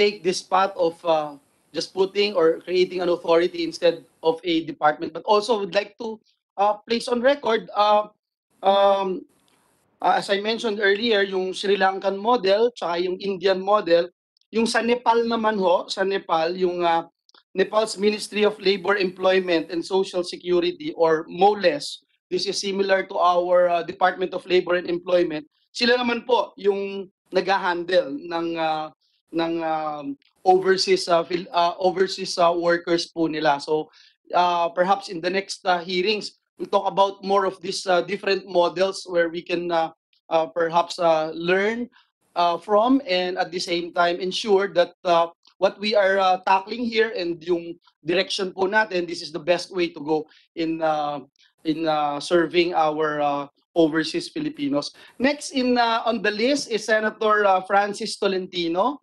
Uh, Senator Tolentino, you're recognized. Good morning, Mr. Chair. Good morning to our uh, colleagues. Good morning to our resource persons. Kwento ko lang siguro yung uh, my previous experience during my previous life as MMDA chairman. My first week in office, I visited Taft Avenue. And Taft Avenue was teeming with a lot of uh, enforcers. There was an outpost of uh, the Philippine National Police, Pasay Police. There was there was a station for the Highway Patrol. There was an outpost for MMDA, and I think I I, I saw uh, another outpost for Pasay traffic enforcer. So sabi ko, anong ginagawa niyo rito? We're manning the traffic. So seeing that, I I saw the chaotic uh, situation. Dinimolish ko lahat yung mga outposts. A lot of them performing the same functions. But to set the record straight, I'm in favor of this this measure. I would just like to uh, add more confusion to the chaotic situation. I'd like to ask the representative, the highest ranking representative coming from the DFA, and probably Secretary Nograles can butt in if, if, if he may uh, so desire. Is there a DFA uh, representative here? Yes, Secretary we have uh, Yusek Ariola and uh, other members of the uh, department. You may proceed, uh, Senator Yes, Tolentino. uh, Yusek Ariola, are you there? Yes, Your Honor. Good morning. Yes, uh, this will this will crisscross previous questions uh, made by Senators Binay and I I think uh, Senator Marcos or or the previous uh, uh, uh, questions coming from my colleagues. Apparently, and uh, to the credit of Secretary Bello and the draftsman of this bill, I was once a co-author of the previous measure. Dole gave a lot of its functions to the proposed new department, the DOFIL. apparently, uh, the downsizing, right, si- right sizing issue would be resolved by, has been resolved or is still to be shown as resolved by uh, in our in our uh, next hearings. But I would I would like to see a a shedding of powers, so to speak, not sharing, not coordination, as my previous uh, Taft Avenue experience would show, but a delegation of power coming from the Department of Foreign Affairs to the newly to this uh, to this uh, new department that we are trying to craft. I I see a probable mess insofar as overseas posting and I I would pose again my analog of Taft Avenue EDSA in a in a foreign land. The the DFA is supposed to be in charge of our foreign affairs. Under the Constitution, under tradition, it's it's the representative of the president exercising full legate, full plenipotentiary powers, and full powers to represent the country. My my my question here is this, and Secretary uh, can butt in. Under the present bill, it would appear that the role of the DFA is just to coordinate, and that the role of the DOFIL would like would likewise be coordinative. You call it one one country approach, which which for me is uh, very esoteric. Uh, what what what would be nice is to to give this new department a specialized role. Uh, we are creating a department because we would have we would want to have professional management. We would want to have a, a hierarchical uh, uh, control, command and control effort. But uh, the way I look at it, as crafted, no offense, uh, to the draftsman, Section 5 would mean coordination. Section 17 would mean coordination. Are we not granting the DOFIL enough functions and powers to do its job? Kung parang kulang eh. Uh, uh, last January, the Department of Education entered into an agreement with, with, with its counterpart in China to train Philippine teachers to speak Mandarin. I think even without the DFA approval, they can do that. But is the DOFIL allowed to uh, exercise functions hitherto being done by the DFA? Entering into a bilateral agreement with its counterpart, perhaps in Kuwait, in Bahrain. Parang kulang. Is, is DFA willing to shed some of its powers? The DFA? Your Honor, uh, good morning. Thank you for that question. Um, Your Honor, at the moment, actually, um, the one country team approach really solves the problem because they are um, all agencies. Uh, it will be under an, the, the new department, the DOFIL, will have an attaché who is under the control and supervision of the ambassador. Um, actually, uh, the the work of the the new department will um, encompass everything, Your Honor, from the pre-departure, um, the the employment, and and even the um, uh, even the PAOS post-arrival orientation seminar and their employment itself, and of course the whole country team. Uh, as of now, Your Honor, it involves not only the DOLE and the DFA, it also involves even the SWD. So um, it is very important, Your Honor, that everything is um, uh, you, ju- you just have one policy, um, policy coordination, and of course, Your Honor, any agency that negotiates abroad has to uh, um, coordinate with the Department of Foreign Affairs because um, the, the for the representation abroad. Um, as of now, um, we have four secretaries that that's the, who are dealing with overseas Filipinos. Of course, we have Secretary Bello and Secretary Locsin, but we also have Secretary Mamao and Secretary Acosta. So you have four secretaries already, which um, to to our mind, um, it's um, it we when you have many secretaries uh, that have uh, have different policies, and not really different, but um, that will uh, that have their own jurisdictions, it might be difficult. And Your Honor, I, I was following the discussion a while ago as to the other countries of origin that have uh, special specialized agencies. We just like to reiterate that the Philippines is the champion of the Global Com- Compact for Mig- Migration. We are second to none when it comes to migration. We are the gold standard for migrant protection. When we speak abroad, everybody listens because we are cutting edge and we are pioneer, pioneering. We have made um, we think outside the box. So um, to to a certain extent, um, it's like putting together what we already have. And um, even compared to all those countries, even having some uh, department, we already we went beyond that because we we already have a regularization of our undocumented workers in compliance with Objective 5 of the Global Compact. So, Your Honor, I think this new department will be able to put together the efforts of the different secretaries who are taking care of migration. And of course, DFA will be there to help. I think the challenge now is, Your Honor, is there are some posts abroad because we have 94 posts, uh, um, embassies and uh, uh, consulates general. Um, some do not have OWA and some do not have POLO. So in the meantime, while we're waiting for all of those posts to be filled with ATN um, attaches, um, the DFA will in the meantime take over those functions, which we've been doing as of now, Your Honor. Um, and at the end of the day, it's still the ambassador who has control and supervision. Um, but of course, for, for the policy of foreign employment and as to the policy of migration itself, it will come from a single department and a single secretary, which uh, so there won't be any confusion and there will not be any uh, um, there will uh, there will be more um, it's going to be more unified, Your Honor. Thank you very much. So what you're saying, under you USEC, is that uh, the while there is a a one country uh, approach system to be in place, at the end of the day, it will be the ambassador.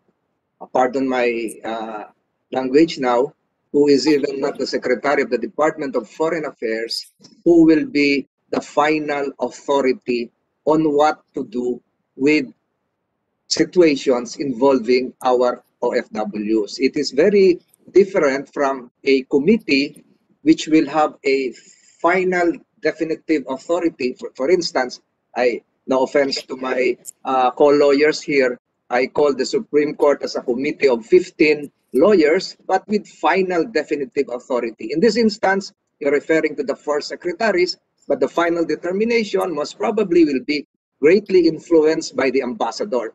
I now refer back again to my previous uh, story, my previous, my my first week in uh, visiting EDSA Taft, four traffic enforcers groups, PNP, Highway Patrol, Pasay Traffic Enforcers, and MMDA, all doing the same uh, mandates, but making the situation more chaotic. But my question really, uh, Yusek, are you not willing to shed some of your powers? I understand that the DFA is the representative of the president in terms of foreign policy.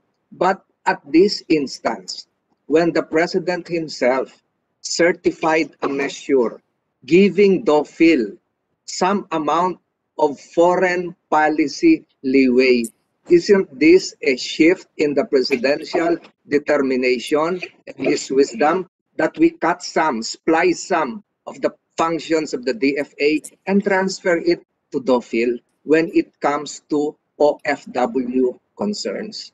Um, Your Honor, actually, uh, the, the DOFIL is already uh, actu- actually the third pillar of foreign policy is the protection of our nationals abroad and much of it goes to DOFIL. What's going to be left with DFA is consular. Um, and of course, at the end of the day, Your Honor, uh, the ambassadors or the uh, and our congens, uh, we have to follow the law. I mean, what is, is placed there. And um, at the end of the day, the, the architect of foreign policy is still the president. And it we just have to have some form of order in, in the embassies and in the consulates that the, the ambassador, of course, is uh, the, or the congen is the one that's recognized by the foreign government. But technically, the protection of our nationals abroad, much of it also already goes to uh, um, to to the, to DOFIL, Your Honor. And even when it comes to uh, migration issues, it's going to be with the new department. It's just that we we need to be able to um, coordinate and the one who has actually it's the highest ranking officer your honor in the post will be the ambassador your honor or in some cases the congens uh, your honor for consulate general for the the consulates general If I So- may, uh, Senator so- Tolentino, if I may, Yes. just just just uh, one uh, uh, interjection, uh, Senator Tolentino, thank you. Um, uh, for, forgive me for, for, for asking this question, uh, uh, Yusek, no? But, but but before I ask this question, let me just show you something. Uh, uh, a, a slide of what is happening, for example, in the Middle East. When you talk about uh, caring of our uh, OFWs, right now in 2020, if you look at the uh, mistreatment, maltreatment, 4,302. Contract violation, you look at 2016 to 2019, it averages about uh, 7,000, no? Uh, yung contract violation. Right now, it's 21,127. Look at the sexual harassment cases. This is just in Middle East. So just to point out uh, uh, to everyone here that uh, there's so much room for improvement in taking care of our OFWs. Just to point that out. And uh, to, to ask my question, uh, Yusek uh, Sara, I'd like to know the difference between attaches and foreign service uh, officers. Kasi uh, gusto lang natin malaman yung attaches ba natin allowed to exercise consular functions stipulated under the uh, Vienna Convention on Consular uh, Relations, particularly on assisting Filipinos abroad. Uh, kami ni Senator Win been talking about this for quite some time. Kasi yun yung gusto naming marinig from DFA. Ano yung magiging setup? Hindi ba tayo makakagambala doon? Papaano magiging smooth yung transition? Papaano masisiguro na at the end of the day talaga is maalagaan natin yung ating mga overseas Filipinos? Um, Your Honor, uh, for that question, because it involves uh, the Vienna Convention, uh, I'd like, because I'm not a career officer of the Department of Foreign Affairs, I'm a political appointee, I'd like to pass it on to Assistant Secretary Rico Foss, who would explain really the structure of the Department of Foreign Affairs. Yes, uh, can we hear from him, uh, sir? Good morning, senators. Good morning. Hi, good morning. Thank you. Please proceed. Um, the designation of attaché is a diplomatic des- designation under the Vienna Convention on diplomatic relations as well as on diplomatic uh, consular relations. The designation or the ranking of foreign service officer is an is a designation under our Foreign Service Act. So magkaiba po. Uh, the proposal under this law is to have the members of the DOFIL assigned abroad to be designated as uh, attaché uh, and not as consul because uh, a consul in the parlance of the diplomatic uh, uh, relations has a specific function. Uh, an attaché as, as a diplomatic rank in the in the Vienna Convention has its own meaning. It has its uh, capacity to do diplomatic representation, being recognized diplomat and designated as an attaché. So, Ang point, ang point po natin, sir, wala hong magiging problema o may encounter na uh, any recognition problem? pag pag ano sir, uh, senator, pag uh, ano ho sila, pag na-designate na po sila at recognize ng bansa na kung saan sila pinadala as diplomatic agent and designated as a attaché which is recognized under the Vienna Conventions, they pwede po na sila makapag-represent po ng ating bansa relative to the expertise na dala-dala po nila. For example, for example, yung mga designate na designate natin as attaché commercial, attaché defense, attaché labor, attaché attaché uh, OFW or overseas Filipino. Yun po yung kanilang specific uh, designations and uh, function.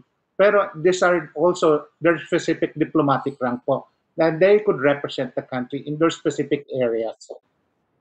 Let's be more specific. For example, itong ATN, yung ATN office and DFA's consular uh, officers, paano yung magiging delineation of uh, responsibilities nila? Sa ngayon po yung ginagawa po natin, ah yung mga halimbawa, kasi papasok po sa ating batas ngayon, yung, ah, for example, yung ah, mga labor attaché po natin, yung welfare attachés po natin sa mga, i-designate po silang attaché pa rin ho. Katulad po ng pag-designate po ng ibang consular officers po natin as attachés also. Okay, thank you. Uh, Senator Tolentino, if you may want to continue, thank you. Senator Tolentino, we can't hear you. You're in mute mode. Yes, uh, to, to abbreviate this, uh, Mr. Chairman, may I ask the DFA representative if she can provide this committee a copy of some proposals that would strengthen the bill, the bill insofar as uh, shedding some of the functions of the DFA is concerned. Uh, uh, that's what's what what I have been asking for uh, from the DFA because eventually, as I foresee it, Mr. Chairman, eventually this will this bill will not just encompass the rights of our OFWs, but eventually we will be treading into health and well-being concerns, culture and arts, and my favorite voting rights, especially for our overseas uh, uh, seamen, uh, sea- seafaring go uh, on, on seafaring vessels. So I think it's about time as we as we are crafting the bill for for the DFA to be forthright and uh, frank enough. Hanggang saan ba kayo po pwede? Hanggang saan ba ano pa ba yung pwede niyong ibigay? Kasi narinig niyo ngayon, you heard that the highest ranking DOFIL personnel to be posted abroad will just be an attaché. Definitely an ambassador is higher than attaché. So we're, we're not treading into the Vienna Convention uh, grounds, but I, I think to really strengthen the bill, as what the DOLE did, uh, gi- uh, giving up some of its functions, DFA should likewise do the same. And I'm referring to some uh, bilateral agreements involving localities, and I'm referring to prosecution of cases, uh, the direct involvement of uh, DOFIL with uh, police stations uh, where, where our uh, OFWs are being uh, investigated, and even cultural matters. Uh, ma- ma- mal- malawak po ito. So, can we have that? Uh, uh, can we get an assurance from the DFA that you will be providing that? Because we now realize a shift in the in the uh, wisdom of the president to remove, splice some of the powers of DFA and transfer it, allocate it to a newly created department. Can we have that? Yes, Honor, definitely. But Your Honor, uh, offhand, uh, may... Be, ma'am, ma'am, ma'am, beyond beyond coordination and cooperation, because coordination and cooperation, uh, these are just aspirational terms. Uh, after the department is created, we will foresee, we will we will realize that we have created a battle of uh, different departments, uh, uh, a battle to get some turf, a battle of uh, jurisdiction among we, we don't want that to happen. Just like my EDSA days uh, for traffic enforcement groups. So i think at this early stage we have to have that Um, ye- yes, Your Honor, will be submitting, but offhand, Your Honor, my office, the Office of the Undersecretary for Migrant Workers Affairs, will be subsumed. Um, all its functions and even its 1.2 billion fund for assistance to nationals and legal assistance fund will go to the new department, Your Honor. So, um, aside from that, Your Honor, if you, the, your other questions will be submitting, but most of it have been already mentioned by CABSEC Nograles, Your Honor, but we'll submit to your one more the, the, the, the gist of my questioning is this.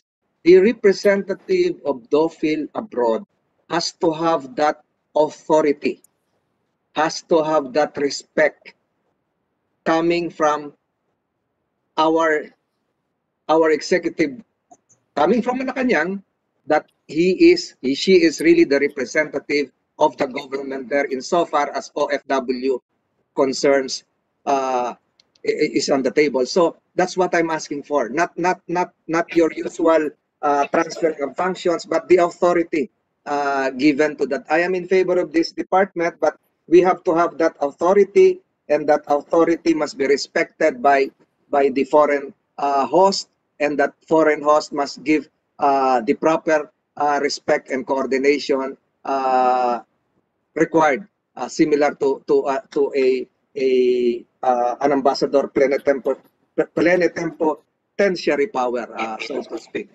Can we have that? Yes, Your Honor, we will comply, Your Honor. Otherwise, magtuturuan to. Mr. Chairman, I have no further questions. Uh, Thank you. I, I wish to participate in future uh, hearings uh, with the end in view of strengthening uh, this bill uh, with the end in view of helping our kababayans abroad. Salamat po, Mr. Chairman. Thank you very much, uh, Senator Francis Tolentino. I think it's uh, very important, very, very uh, uh, important yung uh, binanggit po niyo, yung authority and respect that the this uh, new department uh, should have. But uh, let me again call the attention of DFA, DOLE, DSWD, and uh, including uh, CABSEC, no? Kasi in the certified bill that we, we, we got, it's not really clear as to how these three different types of attaches would be put into uh, one office, no? The uh, labor attache under DOLE, social welfare attache under DSWD, and the assistance to nationals unit under the DFA. So I think we, we, we- have to do something about it. I hope you can uh, uh, give us uh, your thoughts about it because I don't think we are looking at one office that will take over these uh, three attaches uh, at the same time. No, uh, hopefully we'll get that uh, uh, next hearing. Uh, we give the floor now to Senator Nancy Binay. With the indulgence of Senator Nancy, I think si Sec- Secretary Mamaos raising her, his hand. Secretary Mamao, you have the floor. Thank you very much, Your Honor. Uh, I would like to share my viewpoint as far as the issue on authority is concerned. I think this is one thing that has to be settled in the passage of this uh, in- international labor migration governance law. As far as the power of the current officers of the Department of Labor are concerned, they don't have diplomatic, uh, what we call consular powers. So this is one thing that should be considered by Congress, and that is even to the even in the office of the president, and that is to give um, authority to representatives of this new department, the authority to perform as commission consuls, vice consuls, or consular agents of our government. With this authority, they can now perform the functions and responsibilities assigned to them. As of this time, if that will not be settled, there will be confusion of authority, and there will be no power as far as this department is concerned. Now, as pointed out by Senator Saberi, this department must have a very strong uh, uh, working, uh, must be working, uh, strong working department.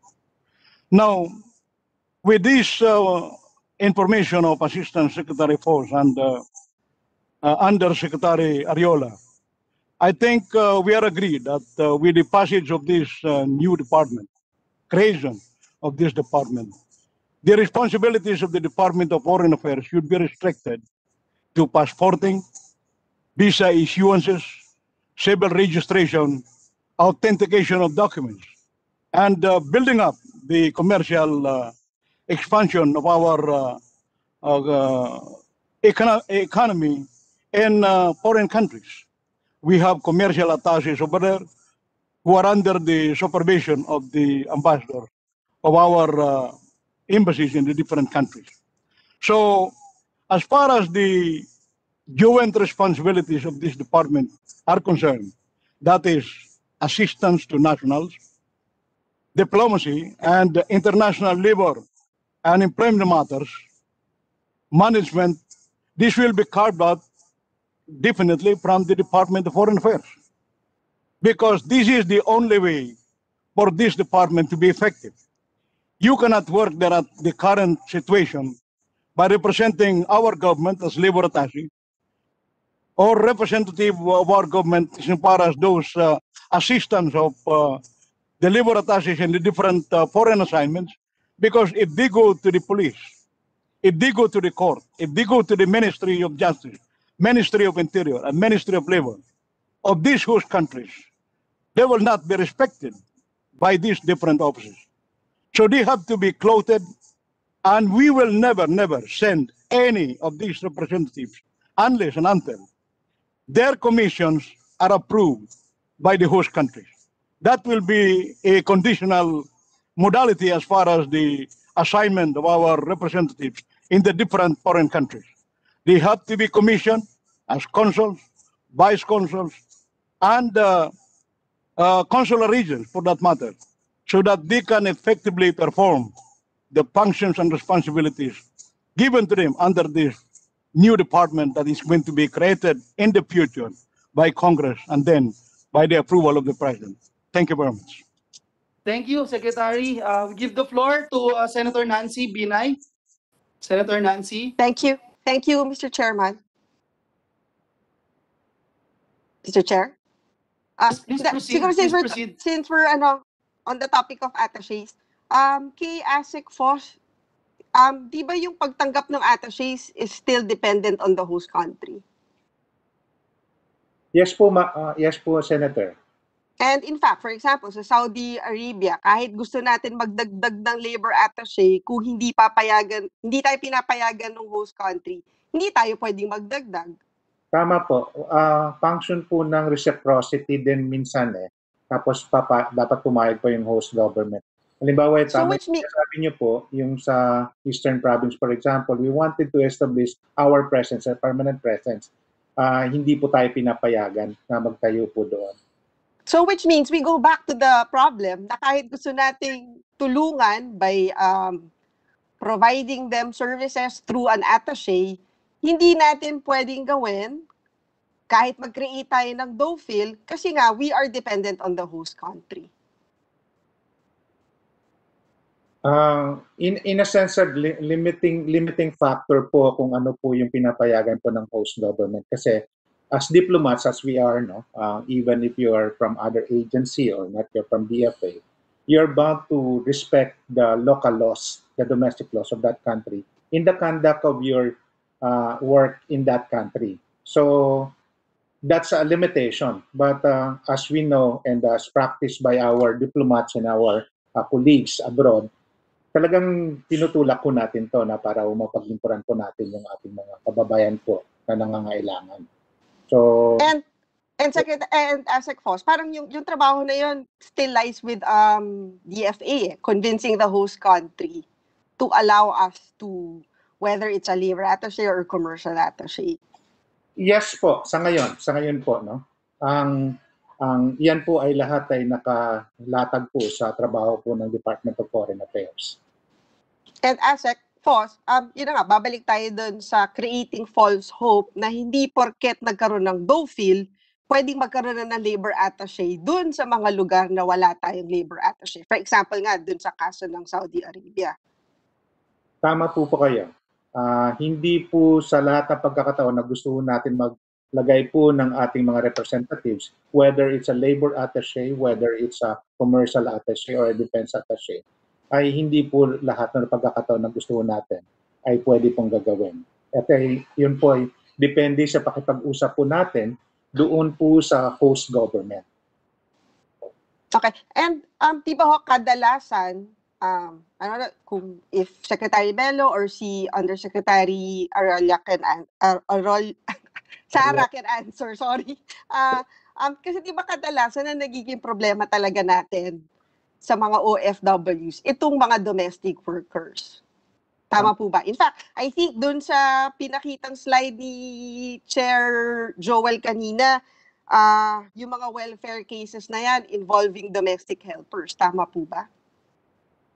I think Secretary Yes, Bello. yes, it's true, it's true. Tama, tama. Yes, uh, can I address, Your Honor, the concern of the Honorable Nancy Binay? Uh, Your Honor, maybe just for the record, the uh, demarcation line between the Department of Foreign Affairs and the Department of Labor when it comes to overseas Filipino workers, we have jurisdiction, Your Honors. DOLE has jurisdiction over documented OFWs. If the OFW is undocumented, Your Honor, then she is under the jurisdiction of the Department of Foreign Affairs. When it comes to cases, Your Honor, DOLE has jurisdiction over cases involving employment issues. But when it comes to cases like criminal cases and other cases, Your Honor, it is under the jurisdiction of the Department of Foreign Affairs. Yun po ang demarcation line between the Department of Foreign Affairs and the Department of Labor. And so far, Your Honor, we have not found any difficulty in our coordination as far as performing our functions in relation to the welfare and interest of our OFWs. Thank you, so Honor. Secretary, so Secretary, diba, Opo. pagdating ho with the creation of DOFIL, ano mangyayari dito sa demarcation? Tama na sila. Dapat, Your Honor, maibigay na yung sole responsibility and authority Dolphin if we want Dolphin to succeed in protecting the interest and welfare of our OFWs. Ah, Thank you. so parang, para ho sa inyo, ilipat na yung both functions ng DOLE at saka ng DFA to DOFIL Yes, For- Your Honor. for cases abroad. documented and undocumented. Undocumented. Basta it, in, it involves the interest and the problem of the OFW, dapat jurisdiction and authority of Dolphin, Your Honors. If we are going to expect Dolphin to do what is intended and that is to protect the interest of our OFWs. Otherwise, magkakaroon ng sinasabi kanina ni Honorable Senator Francis Tolentino na magkakaroon ng problema kung sino maghahawak sa problema ng OFW. Mabuti once and for all, Dolphin should be clearly in charge of all problems involving our OFWs, Your Honor. So not just, not just OFWs, but overseas Filipinos, Your Honor, overseas Filipinos. Yes, Okay, Your um, Honor. I think nagre-raise, Mr. Chair, si ASEC Foss and USEC Sara. Yes, ASEC, uh, Foss, please.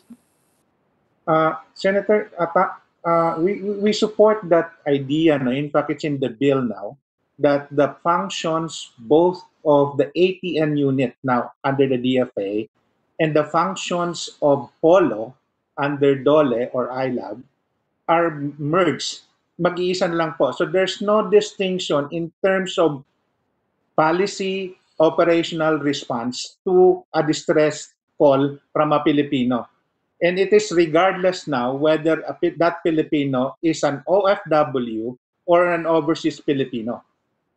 So wala po ng distinction. So ma as the term used by our cabinet secretary, it's really an amalgamation of not only of the budgets and the structure, but also of the of the functions and mandates of different agencies. In this particular case, in responding to welfare needs and distress call of our people abroad, regardless whether he is an OFW, an OF, a tourist, and a student, etc., would be one unit.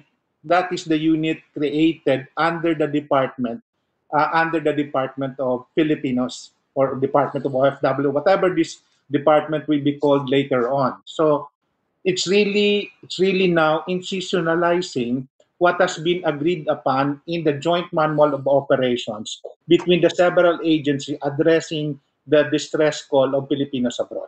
So yun po yun ang gusto ho naming sabihin at sa dito sa batas na ho na. Yeah, yes, ASEC, and idadagdag ko po doon, hindi lang yung ATN officers and the polos, uh, labor attaches, pati yung uh, welfare attaches ng uh, DSWD, DSWD. na yung binanggit po natin kanina na kailangan nating uh, pagtuunan ng pansin because in the certified measure, parang isa lang po yun. No? So we wanted the, your views on it para masiguro natin that this will work. Sige po, please proceed, Senator Nancy. Okay. Um, sige, siguro, let- may nagre-raise hand si Yusek Um, Ariola. Mr. I, Chair, I don't see uh, anyone raising hands here, but yeah, Yeah. uh, Yusek, Yusek Sara, you're recognized. Mr. Chair, uh, um, Senator Binay, um, we just like to reiterate also that the migration policy will be re- uh, will be determined also by the new department of uh, the Department of Overseas Filipinos. Um, it was DFA's position time and again because of the many abuses of our household service workers for us to review our migration policy, especially on the cases of upskilling, and for us to decide whether we still want to um, deploy overseas um, household service workers in certain parts of the world. Um, I think uh, the COVID 19 pandemic already gave us this reset because a lot of our um, um, OFWs are returning. So at the end of the day, um, it will be uh, a department who will really determine where we're going. Um, since it's very difficult, and we know very well when when when things uh, go back to normal, um, there will be an influx of migration, and we cannot really stop our our OFWs from doing that. But it's also incumbent upon the new department to be able to determine how we could help them because it's sometimes very difficult to go against culture or some very well entrenched uh, practices of some countries but it's also the time also that we have to have a very clear and single migration policy that will be followed by um, the new department thank you your honor Sige, sige you. balik. Pero di ba Yusek, Sarah, di ba dapat ngayon pa lang pinag-uusapan na natin kung ano yung magiging policy natin towards, lalo-lalo na din sa domestic helpers. Kasi alam naman natin lahat ng mga ah, centers natin abroad, la- lahat, halos lahat na nakakaproblema ay yung mga domestic helpers. Um, yung polisiya na baka it's high time that we um, stop yung pag-allow ng mga domestic helpers natin magtrabaho abroad. In fact, Indonesia has done it. Um, ano ba yan? Ah, napag, natata- natatalakay na ba yan? Kasi sa akin, I think, kaya nagkaroon ng um, panawagan to create another department is to address basically yung problema ng mga domestic helpers natin. Eh. Dahil sila talaga yung prone to, to abuse, prone to human trafficking. So at this point, napag-uusapan na ba yung ah, polisiya to finally end itong migration for the domestic helpers. I don't know kung sila Cabsec Carlo or si Secretary Bello, kung napag-usapan na to um, as a policy even before we pass DOFIL. Yeah, thank, thank you, Senator Nancy. No? And uh, just to follow up uh, on that particular issue na nire-raise niya Senator Nancy as we uh, uh, flash on screen, uh, for example, itong OFWs working in uh, the Middle East, particularly domestic workers and low-skilled workers, uh, they face the highest uh, risk of exploitation, abuse, harassment, and labor-related issues. So, ang tanong talaga natin is, ayan, ah, napag-uusapan po ba yan? Ano yung ah, response natin? Paano natin ito ma-improve? Ah, has there been a, ah, ban imposed o ah, limit man lang by the POEA ah, governing board on the deployment of ah, vulnerable OFW occupational groups from entering ah, these countries? So, siguro ito yung ano namin ni Senator Nancy, paano natin to ma-strengthen yung pag-address dito sa issue na ito with the uh, establishment of a overseas Filipinos. Mi- Mr. Chairman, Mr. Chairman, Yes. siguro, Yes, yes, please. just, just, just to add, um, kasi sa tingin ko din, uh, Mr. Chairman, kahit magkaroon pa tayo ng DOFIL, itong problema na to, ano lang eh, magiging paulit-ulit lang. Ah, um, ano natin, di ba, katulad na nga na nasabi, nasabi ni Yusek Sara, um, cultural din to, yung kafala system, kahit naman mag-create tayo ng DOFIL, hindi mahihinto ng ah, departamento yung, yung kafala system. So, um, yun na nga, as a policy, moving forward, tsaka total naman, di ba, ang, ang policy is not to send our kababayans abroad, but as much as possible, eh dito sila magtrabaho. Siguro, um, to take that the first step, eh baka dapat umpisahan pagdating dito sa mga domestic helpers natin. Yes, uh, thank you, Senator Nancy. No? But uh, just to point out kasi dun sa migrants uh, law natin, Section 4 of RA 8042, yung POEA Governing Board, uh, inauthorize po siya to allow the deployment of OFWs only in countries where the rights of Filipino migrant workers are protected. So by now, alam na natin yung kafala system, alam na natin kung ano yung mga nangyayari. Itong data na ito is uh, uh, happening in the Middle East. And then in Section 4 of RA 8042, it also provides that DFA, through its uh, foreign post, should issue a certification to the POEA specifying if the host or receiving country possesses the following guarantees provided uh, ito nga itong mga binanggit po natin no? So ang, ang ano natin is na, na-implement ba to? Ma i-improve ba ito? Uh, what do we expect if we uh, uh, establish a, a new department uh, with regard to this particular issue? Chair, Mr. Chair, yes secretary Bello you're recognized thank you, Your Honor. And in response to the concern of uh, Her Honor, Senator Nancy, uh, we would like to inform the committee, Your Honors, the honorable members of the committee, that right now there is no deployment in Middle East where you just saw a high incident of violation of our overseas workers. We have suspended deployment in Kuwait. We have suspended deployment in uh, Sau- Kingdom, Kingdom of Saudi Arabia and also in the United Arab Emirates, Your Honor, for the reason that our OFW's rights and, and welfare are not recognized and well protected. In fact, in UAE, Your Honors, there is no valid deployment there because we have no existing bilateral agreement with the United Arab Emirates. In the case of the OF of uh, Kuwait, Your Honors, we have deployed, so suspended deployment there because of the high incident of maltreatment and abuses of our OFWs. So that's the reason, Your Honor, that, that there is no deployment now in the Middle East, Your Honor. thank you secretary Bello thank you Pe- pero Secretary Bello, walang official deployment. Pero alam naman natin, I'm sure, uh, Mr. Chairman, tumaas naman yung incidents ng human trafficking. Ayun po. ang- Tama po ba? Opo, hindi namin po kwan yun. Yung uh, responsibility, Your Honor, may mga other agencies of government who are in charge with that uh, uh, case of uh, uh, anong tawag, illegal recruitment and uh, Human trafficking. Opo, human trafficking, Your Honor. So, dapat iniiwasan yan. And yung pag-create ba ng DOFIL will stop this practice? Well, if we have a dolphin, a specific government agency that will address the problem of all OFWs, this way, this may discourage people from abusing our OFWs because from henceforth, Your Honor, with DOLPIL, they can see to it that there will be no deployment in all countries where there is no bilateral agreement because it is the bilateral agreement, Your Honor, that provides sufficient protection for OFWs. Kailangan meron sila talaga yung standard employment contract. If you remember, Your Honor, when this case of the Mapeles happened, Kuwait.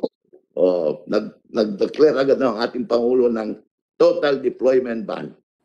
And she, he lifted the, the deployment ban only after they signed a bilateral agreement where all the rights of our OFWs are well protected, Your Honor.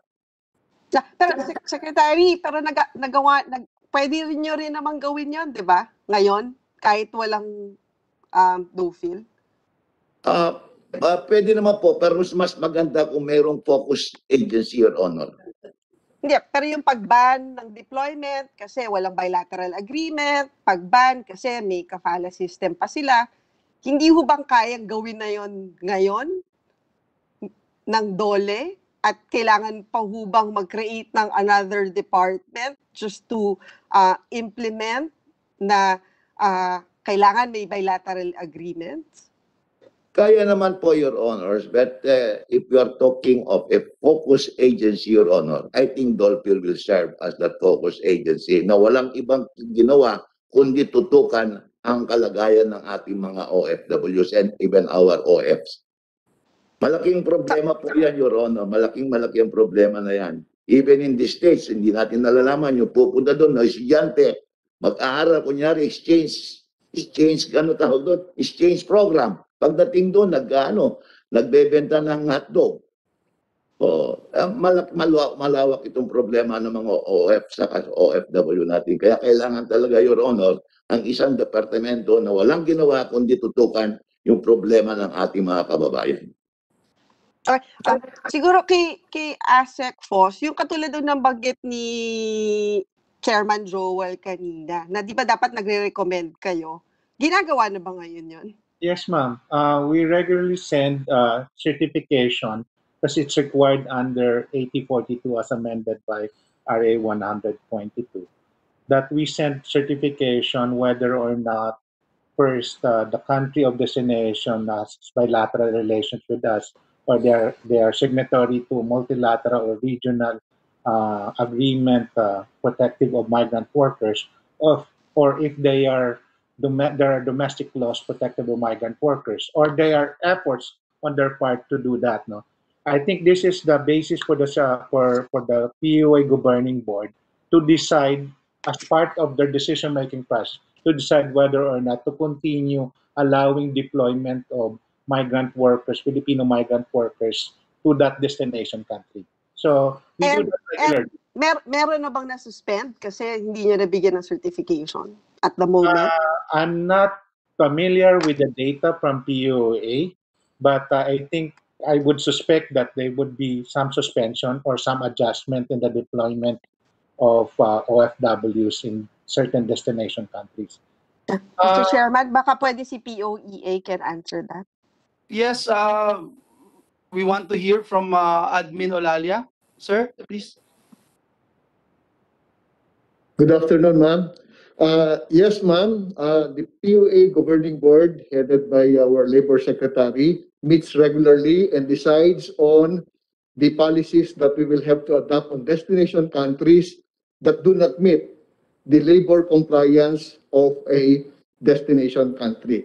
Halimbawa po nito, yung UAE. Tama po yung sabi ni Secretary Bello po kanina, na hindi po inaalaw ngayon ang deployment ng HSW sa UAE dahil ayaw po nila ng ating standard employment contract. Another destination country, for example, is Lebanon. Hindi po tayo nagpapadala ng HSW sa Lebanon dahil po doon sa mga welfare cases at wala pa po tayong accepted and harmonized employment contract. For all the Middle East countries na meron po tayong bilateral labor agreements and who have domestic laws that protects our HSW, doon lang po tayo nagpapa-deploy ng ating HSW. Okay. Um, siguro, Mr. Chairman, alam ko may mag, mar- marami pang magtatanong. Um, last question na lang. Um, kasi you said, Sarah, you mentioned na ano yun, yung gold standard? Ano yung award na yan? Um, Or recognition? Your Honor, Mr. Chair, uh, actually the Philippines is known to have the highest level of protection for our OFWs because as even in our repatriation, uh, we um, our COVID response is um, characterized by response, repatriation, recovery, return, and reintegration, all paid for by the government. Or in cases of um, sea-based workers, they're um, they're um, they're um, the um, the recruiters actually the local manning agencies. But to a certain extent when it comes to migration your honor the philippines is really known as an authority because we really protect we in fact um, countries of destination are saying that the philippines have a reputation for being very hardline negotiators. Because if you're good enough for the philippines you're going to be good enough for every for any country of origin um, that's how um, strict we are when it comes to the protection of our migrant workers. Um, that's why we are also a Global Compact for Migration champion. Um, it just so happens, of course, we're doing well, but we can do better. And we're looking at this uh, new department, the DOFIL, to be able to uh, put everything together and so that we can do better because um, when we have cases of abuse, we know very well that one abuse is one too many. And um, especially for household service workers. But even e- that's why we're also very supportive or of the countries of destination who are having uh, um, reforms already because they're also asking for support from from countries of origin like the Philippines because there's the, the governments are willing to change but the resistance is coming from their populations and their business sector because kafala also means that they will uh, incur more uh, expenses. So and I think your honor um, one of the things that we should also focus on, the new department should focus on, is upskilling, um, because if our if our overseas workers or they still plan to return, um, if they have other skills other than uh, being household service workers, then there will they will be prone to less abuse because most of our service uh, our abuse cases are done in the homes of uh, the employers that we cannot enter. By the time we intervene, there's already abuse that has been done, which the, is very rare that happens if the employee is living outside the home of the employer. Thank you, Your Honor. Mr. Chairman, la- la- last na lang, last question. Um, hindi, yung implementation nito, for example, OFW, yung, yung proseso, how will it be different? For example, OFW ako na mag-a-apply abroad. With the creation of DOFIL, what will what will be the difference in my application? Uh, Senator, if I may. Please, please Ang, proceed. ang imagine mo, parang sa isang bahay na lang po sila pupunta. Hindi na pupunta sila po doon. Diba, pag nag-apply po ako, ang pre-departure pre-departure or pre-employment seminar is being done by POA. Diba? Ang pre-departure orientation seminars being done by OYNET sa Yeah, de- pero ASEC Force, ah, um, ano yan? Kasi mag o, one o'clock na. Question lang, kasi sabi mo, ibabahay na sa isa, but hindi naman bubuwagin ng POEA eh. In fact, it will be an it will be an attached agency. So kung sinasabi mo na yung pre-departure, hindi na magiging trabaho ng POEA, anong matitirang trabaho ng POEA? I- ah, Senator, ang laki pa rin po ng trabaho ng POA with the regulations of overseas employment would still be the core mandate of the POA and the technical expertise of the people at the POA would still be there. Ang siguro doon doon lang sa pag-streamline ng proseso dahil sa isang departamento na ng lahat, no? lahat 'yan ah, sa isang kahit attached agency po at saka doon sa organic doon sa department, isang bahay lang o sila. Hindi, pero ASIC Force, physically ha, mas malaki magiging building ng POEA kaysa doon sa Dovefil. Tama po ba? Di ba? Physically, mas malaki building ng POEA kaysa sa Dovefil. So I don't know kung may facility yung Dovefil uh, to conduct uh, ito mga pre-departure seminar. Tama po ba? So at the end of the day, gagawin pa rin ito sa POEA. Ay, yung ating, ang, ma'am, sa ano naman po eh, yung as far as I know, and I could, we could ask the POA for this, but uh, I think the, the, the way they conduct their pre-employment seminars, they do it within coordination with the local governments at the provinces, at the local, at the local government. Hindi naman po doon sa building mismo ng POA. So, in terms of physical structure, you're right.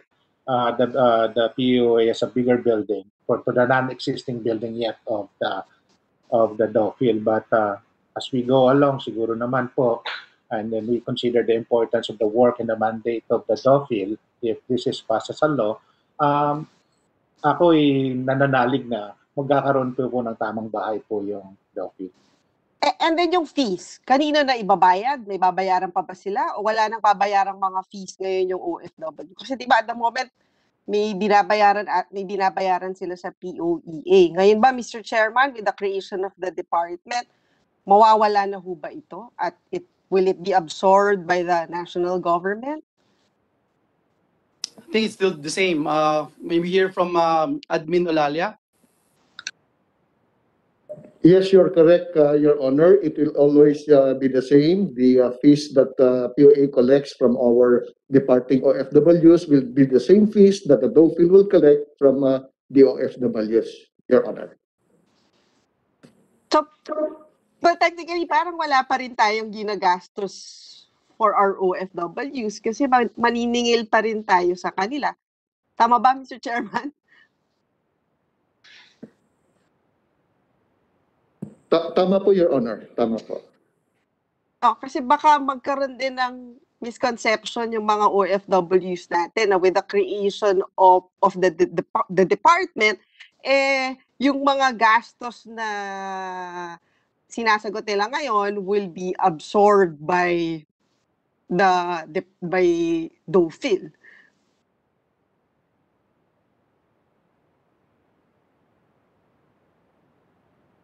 Chair, may I address the question of, of the Honorable? Hindi, ah kasi secretary, di ba, parang The, the, the devil passionate in the secretary of the Department of Labor and Employment is recognized. Thank you, Your Honor. Actually, Your Honor, yung charging of fees from the OFWs is a matter of policy. Ngayon, kung under the proposed DOPIL bill, eh, yung Secretary of DOPIL is also concurrently the chairman of the board of the POA, which is the present situation, Your Honor, they can come up with new policies na to make it easier for our OFWs to go abroad na i-waive yung fees from our OFWs, OFWs, especially sa mga household service workers, Your Honor. It's a matter of policy, Your Honor. Ta- y- yun na, Mr. Chairman eh, kasi based on sa presentation ni Cab si Carlo kanina, hindi naman nabuwag yung OWA tsaka POEA. So, paano ngayon yun? Pag kunyari, mag, di ba, at the moment kasi yung mga OFWs natin na miyembro, di ba, may nakukuha silang ah, benepisyo sa POEA tsaka sa OWA. So, with the creation of DOFIL, hindi na ho sila pupunta sa POEA and OWA to claim their benefits at DOFIL na yung magpa-process. Magiging ganun ho ba yung proseso? Kasi nga hindi naman ho nabuwag yung, yung dalawang ahensya. It, it will be, uh, Senator Nancy, it will be an attached agency of the new department, uh, uh, both OWA and the POEA. So it Kaya will nga, just be ah, the same, yes. Walang same, ano, same Your- lang. Wala Kasi silang baka- benefits na makukuha from POEA. It is only from OWA where they get, it's especially if you are an active OWA member, meron kang ano mga benefits under their reintegration program, Your Honor, which, which involves uh, livelihood assistance, eh, scholarship assistance, at pwede pa nga mangutang doon pa ng up to 1 million, Your Honor, if you can show to the OWA na kaya mong pumasok sa ganong negosyo. Marami, maraming problema, maraming programa ang OWA para sa mga OFWs. Sa POA po, wala po kasi it's a regulatory body, Your Honor. Yeah. Ah, pe- pero kasi Mr. Chairman, doon tayo babalik ulit, di ba? Isa doon sa reklamo ng mga OFWs natin na parang ang dami nilang pinupuntahan. So dito parang ganun pa rin.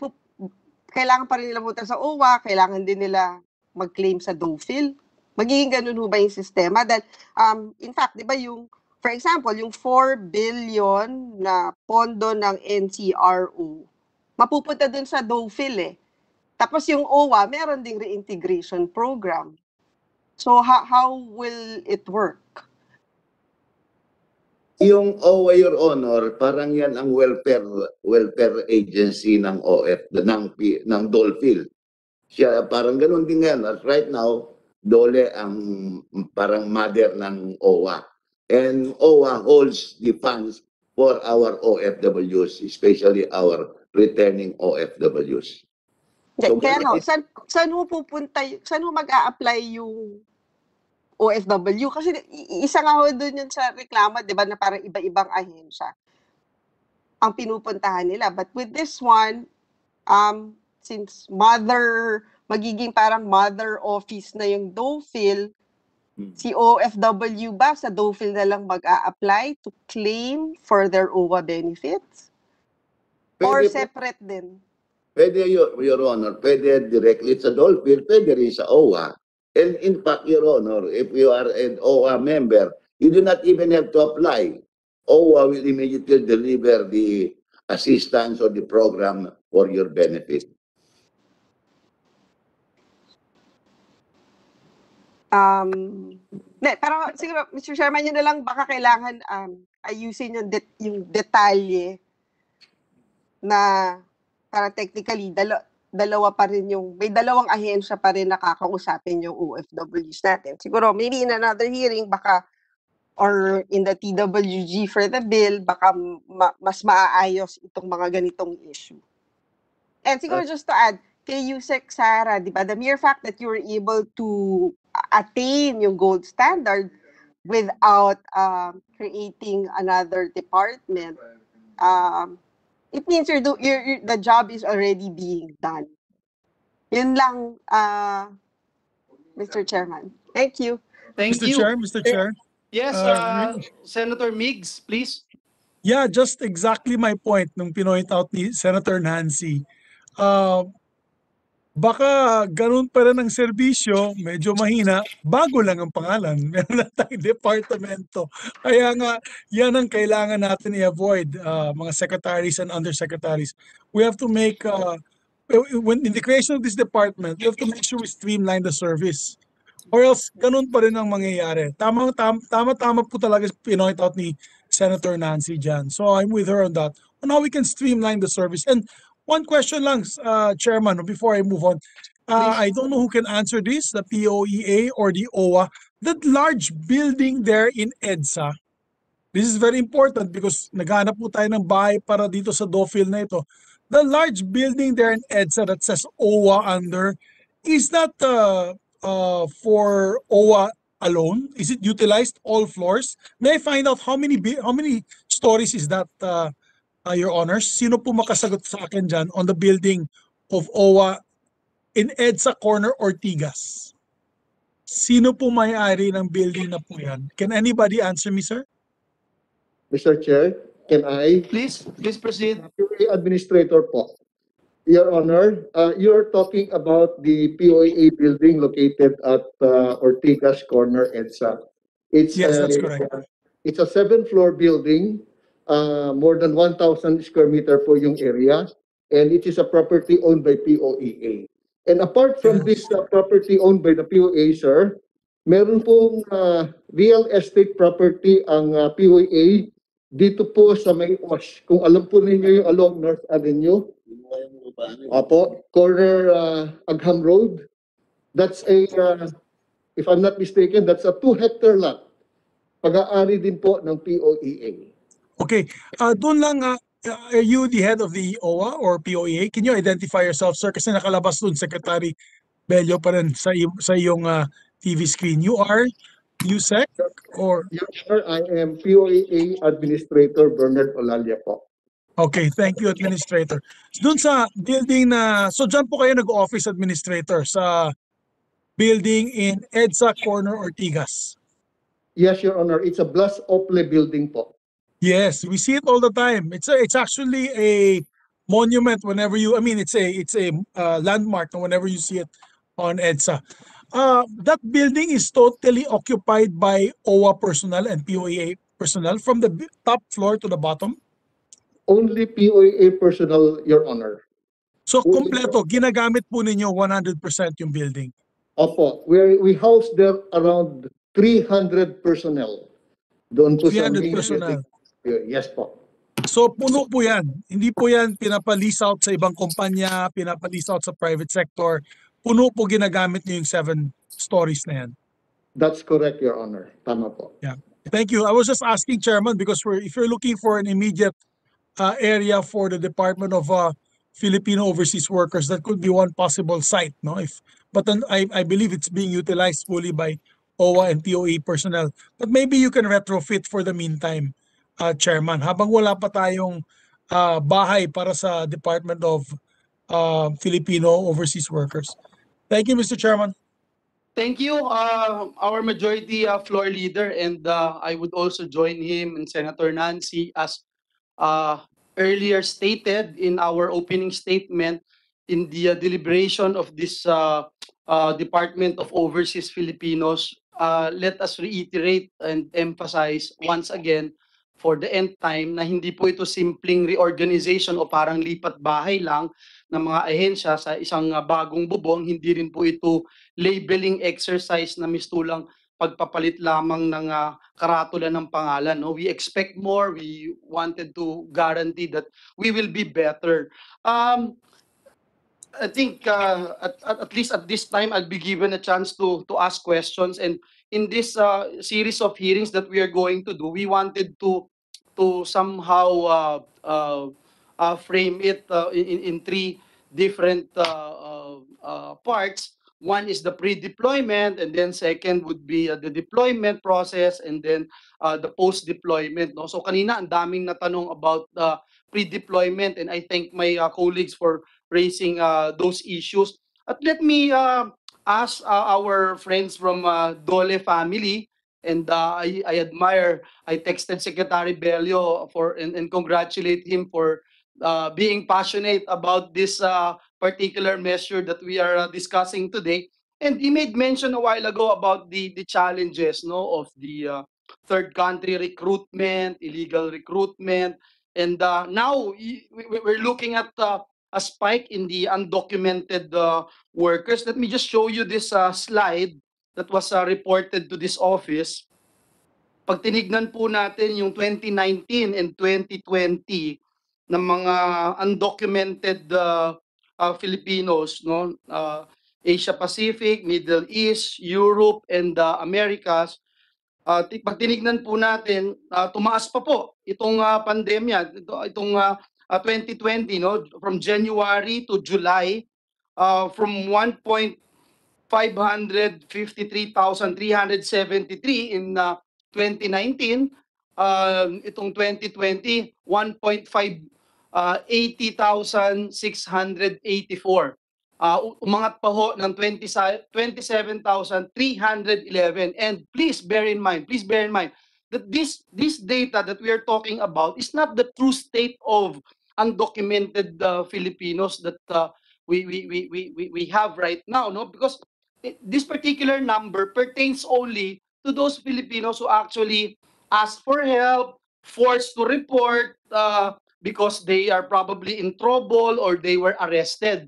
So, pag tinignan po natin ito, no, ah, malaki pa rin, no? Ah, ang tanong natin na secretary, um, itong ah, increase of undocumented workers, ah, na pinpoint po ba natin ano yung ah, mga factors ah, behind the increase? And ah, perhaps ah, we'd like to pose this question, what measures have ah, the DOLE and POEA taken to uh, register the uh, and, document these uh, undocumented uh, workers abroad dahil it looks like uh, with this pandemic uh, parang uh, ang ina-expect natin ay tataas pa po ito.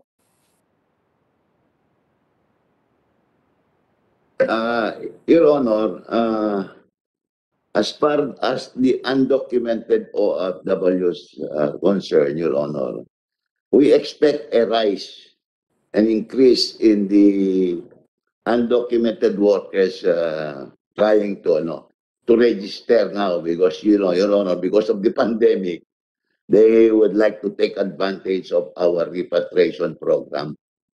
Kaya marami po sa kanila na dati nagtatago, undocumented, bigla na lang sila nagre-register dahil gusto po nila mapasama doon sa ating repatriation program and other benefits, Your Honor. Kasi alam niyo po, Your Honor, under yung ACA program namin for the OFWs, ito yung abot, abot kamay sa pagtulong, ACA for short, we gave this one-time cash assistance to all OFWs who were displaced because of COVID-19. Ngayon, originally, Your Honors, we gave it only to documented OFWs.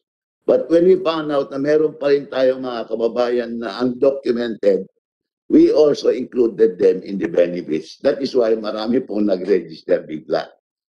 Ayun po ang dahilan bakit tumaas ang number of undocumented workers, Your Honor.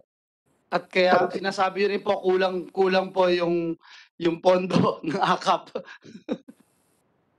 Hindi po, Your Honor, meron pa kaming mga 400 million na nandyan po and we are still trying to pay out yung mga OFWs natin. Meron lang tayong difficulties doon sa mga repatriate, Your Honor, kasi nasa ka- kanilang probinsya na and mahirap makontak sila. Yung mga iba, hindi po marunong mag-online application, hindi marunong magkuha ng mga itong mga remittance center, kaya nahihirapan tayo. But still, Administrator Cagdac and Director uh, Bisperaso of our iLab are busy looking for them and giving them what is due them under the program, Your Honor. Well, thank you, Secretary. No, and let me take this opportunity to commend the entire uh, uh, department headed by Secretary Bello, of course, sa Admin Hans. Uh, buhay na patotoo po ako doon sa uh, pagtatrabaho nila at uh, talagang yung walang sawang uh, pag-walk ng extra mile just to uh, take care of our uh, OFWs. But Secretary, I, I remember you saying the importance of having yung mga binabanggit natin kanina, yung bilateral uh, uh, labor agreements, no? especially doon sa mga maraming Filipinos abroad. Uh, and, and to talk about this particular measure that we are deliberating uh, upon, can you give us uh, your views kung paano ito ipagpapatuloy? At I'm sure you would say dapat ipagpatuloy ito and more focus at uh, perhaps become more aggressive in uh, in um, uh, having these uh, bilateral uh, agreements. Uh, can you give us uh, your views? Yes, Your Honor. Uh, because probably because our steadfastness in not allowing the deployment of our OFWs to countries where we have no bilateral agreement, we are pleased to and uh, to mention now, Your Honor, na marami ng countries na makikipag-enter sa atin ng bilateral agreement. In fact, uh, early this month, March, March 1 and 2, the high-level delegation from the United Arab Emirates are coming for the purpose of finalizing yung bilateral agreement with them. We also received communication from Russia, Your Honor, to negotiate with us uh, also a bilateral agreement. So with uh, Canada, Your Honor, and mentioning three other countries in Eastern Europe, we have uh, Romania, Poland, and UK also, Your Honor, because they are very much interested in getting their exemption from our deployment cap of 5,000 uh, a year, Your Honor. So marami po, marami pong na, na-realize nila that the President is uh, serious in not deploying our OFWs in countries where we have no bilateral agreement because it is in conditions like this that our OFWs are, are sometimes subjected to non-payment of salaries, non-observance of the, the usual benefits of our workers, and so on and so on, Your Honor. Thank you, Secretary uh, Bello. Baka pag napasa ho itong batas na to, maraming uh, mag-suggest na kayo ang mag-head ng uh, uh, departamentong ito. But uh, uh, kidding aside, uh, Secretary, uh, let, let me point this out no, uh, from Dole, to DOLE, to DFA, OWA, and uh, uh, POEA. The following here, the following data gaps and the challenges were identified in uh, if you would recall the 2017 presentation by the Philippine Statistics Authority. Uh, may we know, has there been any progress in addressing the said data sharing gaps? Um, kung meron po, uh, what are these? Kasi ho, natandaan niyo po, nung mga nakaraang taon, uh, nagkaroon tayo ng pagdinig at uh, uh, dun ho sa ating uh, pagdinig, uh, naging napaka-disappointing po na yung status of the uh, shared uh, government information system for migration under or mandated by the uh, Migrant Workers Act ay hindi po uh, nangyayari. So perhaps if we could uh, uh, get an answer, a status report probably from uh, DOLE or DFA with regard to this uh, data sharing among uh, agencies uh, regarding our uh, OFW related data. Eh, Thank you, Your Honor. Uh, For that matter, Your Honor, may I request our uh, Director of the International Labor Affairs Bureau to give you a short, uh, quick briefing on it, Your Honor. Sige po, uh, from our iLab, ma'am, please, you're recognized. Please proceed. Thank you po, Mr. Chair. At present po, yes, meron pong ah, mga systems na ginagamit po ang OWA, ang POEA at ang DOLE po para po monitor ang kondisyon ng ating mga OFWs. But since po doon sa instruction po ng ating Mr. Chair na magkaroon po na tayo ng common data sharing hub for our systems po sa tatlong ahensya na ito, nagsabit na po kami ng project proposal for a common uh, system po na mag-govern po sa mga data po ng POEA, ng DOLE at ng OWA. So sa ngayon po ay we are in the process of finalizing the uh, terms of reference of the system that will unify yung mga data po ng tatlong ahensya, sir. That's all po. Thank you po, So, Mr. so ma'am, you're still finalizing, meaning hindi pa po tapos. Opo. So you're still finalizing. What about DFA and the other agencies? Uh, Your Honor, can Administrator uh, Kapdak of OWA add something to that, Your Honor? Yes, please, uh, Admin Hans, you're recognized. Yes, Thank you po, Mr. Chair and, and Secretary and, and uh, members of the committee. Uh, yung sa number three po, yung returning migrants, uh, perhaps one silver lining dito sa pandemic is na-enhance yung database ng returning OFWs. Uh, currently, we have around 500,000 plus in our database of returning OFWs in the course of the pandemic, which is tumatakbo na po ng more than one year. So, ang ang ang nangyayari po ngayon ay halimbawa to give an example, because of this database ng returning OFWs in the pandemic ay nakikita po ng halimbawa DOH Bureau of Quarantine uh, in terms of yung monitoring yung health conditions at yung swab testing ng ating OFWs. Uh, yung pong uh, uh, DILG at yung mga LGUs naka-enroll po so that they can also be adequately informed, the LGUs, about the returning OFWs, their respective constituencies. And then, yun pong ating, uh, uh, uh, in terms of yung reintegration, uh, we're already currently reaching out to agriculture and trade and industry, the departments, and also uh, the possibility of uh, reaching out to TESDA. We're currently working on that, Mr. Chair, para po maagapan yung pangangailangan ng ng uh, data mula sa mga ahensya na banggit ko at mabigyan ng intervention in terms of reintegration.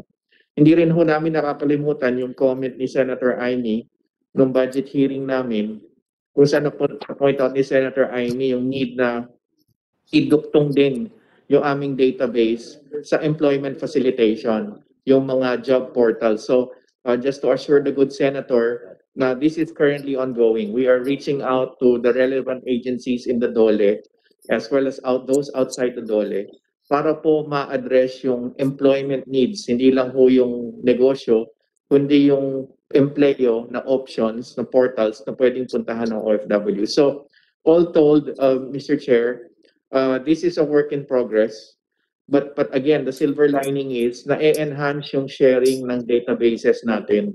At uh, we are already in a step in a step in the right direction along these lines. Thank you, Mr. Chair. Uh, thank you, uh, Admin Hans.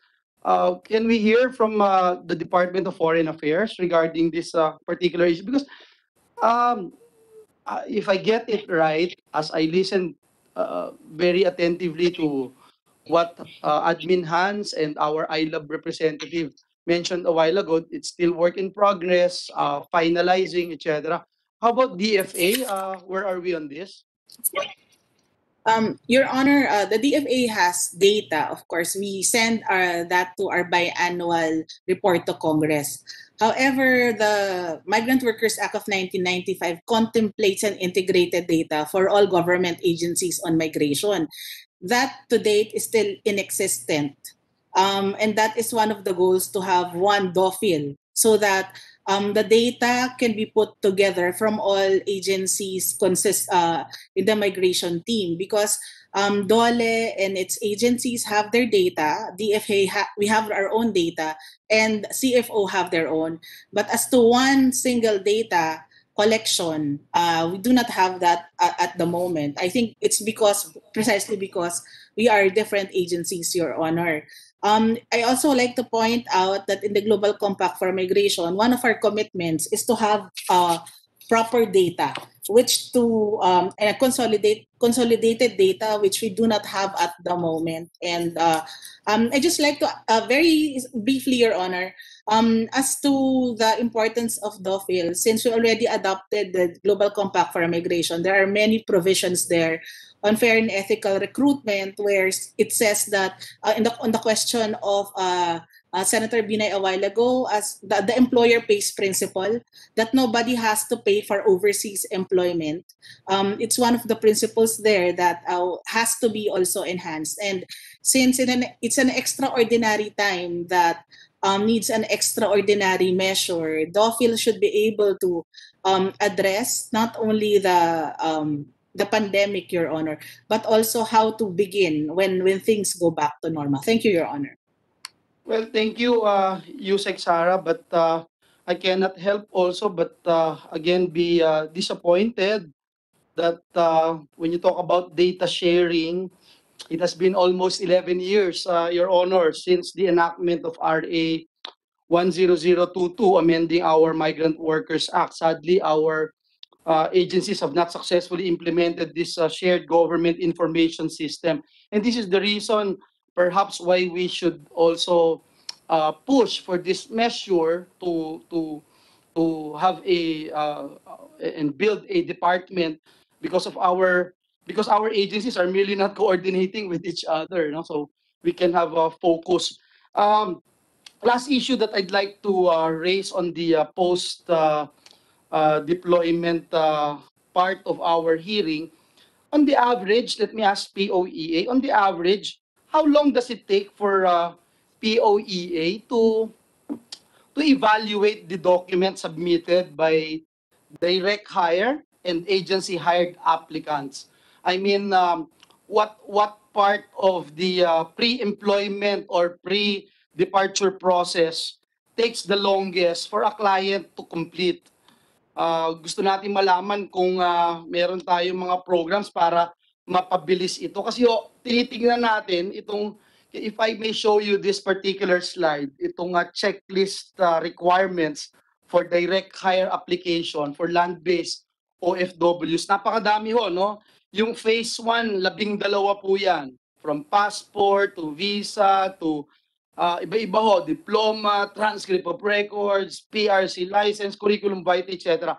You have uh, phase 2, uh, apat po yan. Valid medical certificate, pre-employment orientation seminar, pre-deployment orientation seminar, POEA clearance.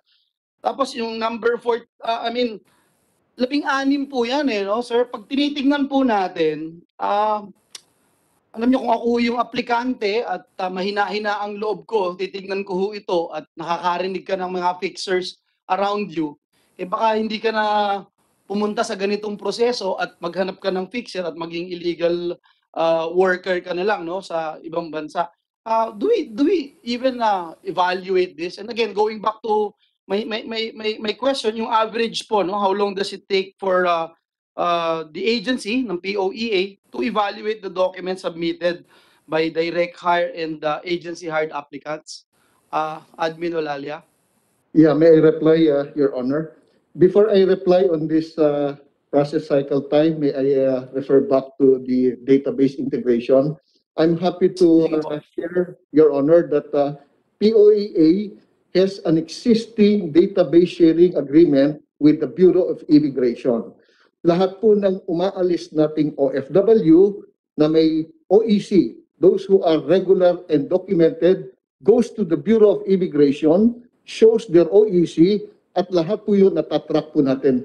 Kaya po yung bilang ng mga umaalis po nating OFW are properly documented and we have the exact numbers.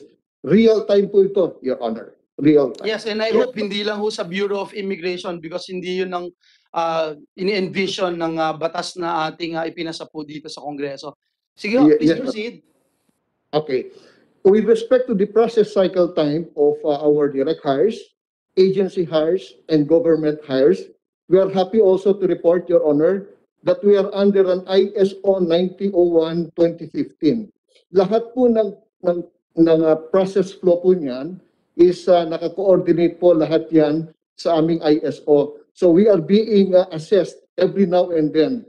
Ang average po niyan, Your Honor, is seven days. No? Once na may nag-apply po sa aming direct hire division, yung pong pagpoproseso ng lahat ng papers takes at least seven days, more or less po. Yun pong ating agency hire, we're also happy to note that we already launched an online uh, processing of all our uh, deployment, except for those that involves manual evaluation like HSWs and low skill.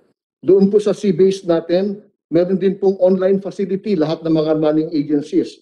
Mabilis na po ang pagpoproseso at pagde-deploy po ng ating mga seafarers in coordination with the principle that we have to establish a green lane of deployment for both land-based and sea-based, Your Honor. Thank, thank you, Admin Olalia. No? The, the, the bottom line of our hearing today is to ensure that we'll be able to uh, serve our uh, overseas Filipinos, particularly our OFWs, in uh, the best way possible. No? But if you will give us seven days to verify, uh, one week po para matignan itong mga documents na nire-require po natin. And at the same time, if you look at the the requirements, for example, diploma tra- and transcript of records, um, i-verify mo yung diploma and transcript of records, pero na verify mo din yung isang hiningi mong requirement na NC2 and PRC license. Kung may PRC license ka, ba, di dapat na-check na rin ng PRC bago nakapag-exam yan na meron silang diploma at uh, transcript of records. Uh, you go to another point here, curriculum vitae, resume. Kailangan to with all these uh, requirements. What does had to do with curriculum vitae, resume, with all these requirements? Don't you think that this is uh, way too much, uh, Admin Olalia? I mean, do you even uh, evaluate itong mga checklist requirements natin? Your Honor, under the ease of doing business, nagkaroon po kami ng uh, technical working group to study on how to lessen the bureaucracy in the processing of uh, the deployment of our OFWs. And uh, ito po ang goal namin, uh, pabilisin ang deployment. Kaya po at the start of uh, the Duterte administration and upon the instruction of our Labor Secretary, nilaunch po namin yung one-stop service center for OFWs. Meaning to say, lahat po ng interagencies that deals with the deployment process are housed under one roof para mapabilis po at mapa, mapadali yung pag-issue ng ating OEC. So this is a continuing process for us in order to uh, give an efficient delivery of our services, yeah, Your Honor.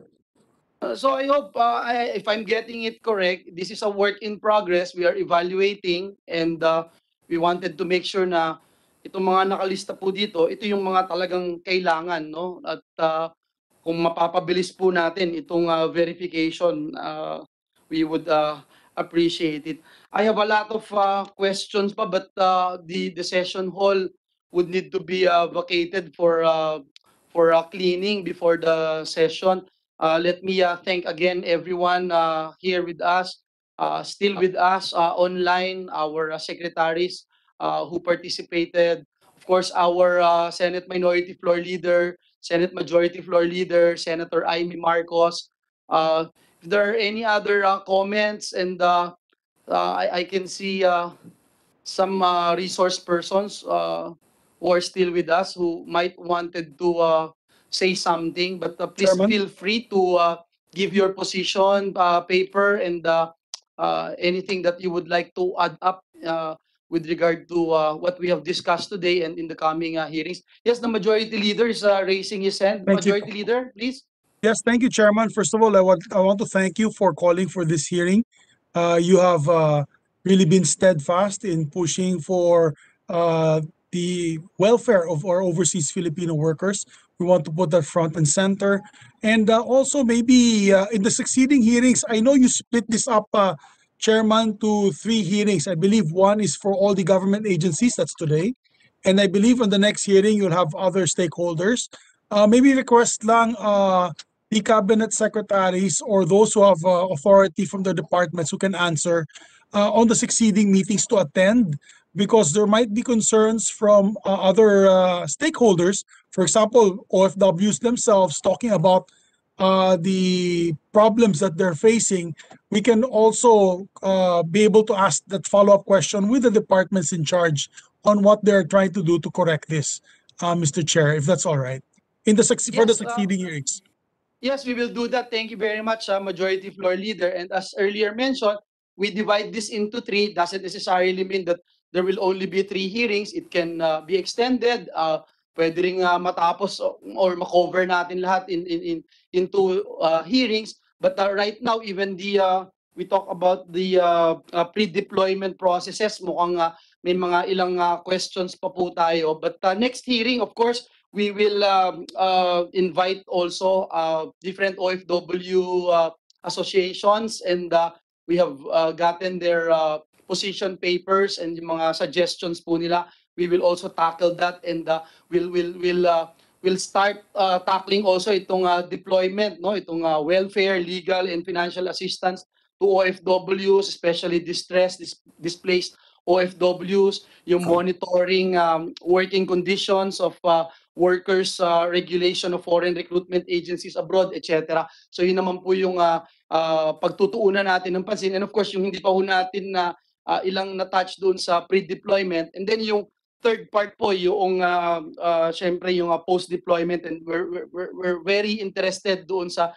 reintegration program natin on the what we can do para masiguro natin na pagbalik ng ating mga kababayan, una, yung ah, polisiya na hindi natin sila gustong umalis ng bansa. At ah, pangalawa, yung pag-alis nila, we make sure na makakatulong din sila pagbalik nila, yung ah, transfer of technology, etc. I can see Senator uh, uh, Tolentino raising his hand. Yes, Senator Yes, Tolentino, you're recognized. Uh, Just a query directed to the DFA. When do we expect the paper uh, as to the proposal on how to strengthen the bill, Mr. Chairman?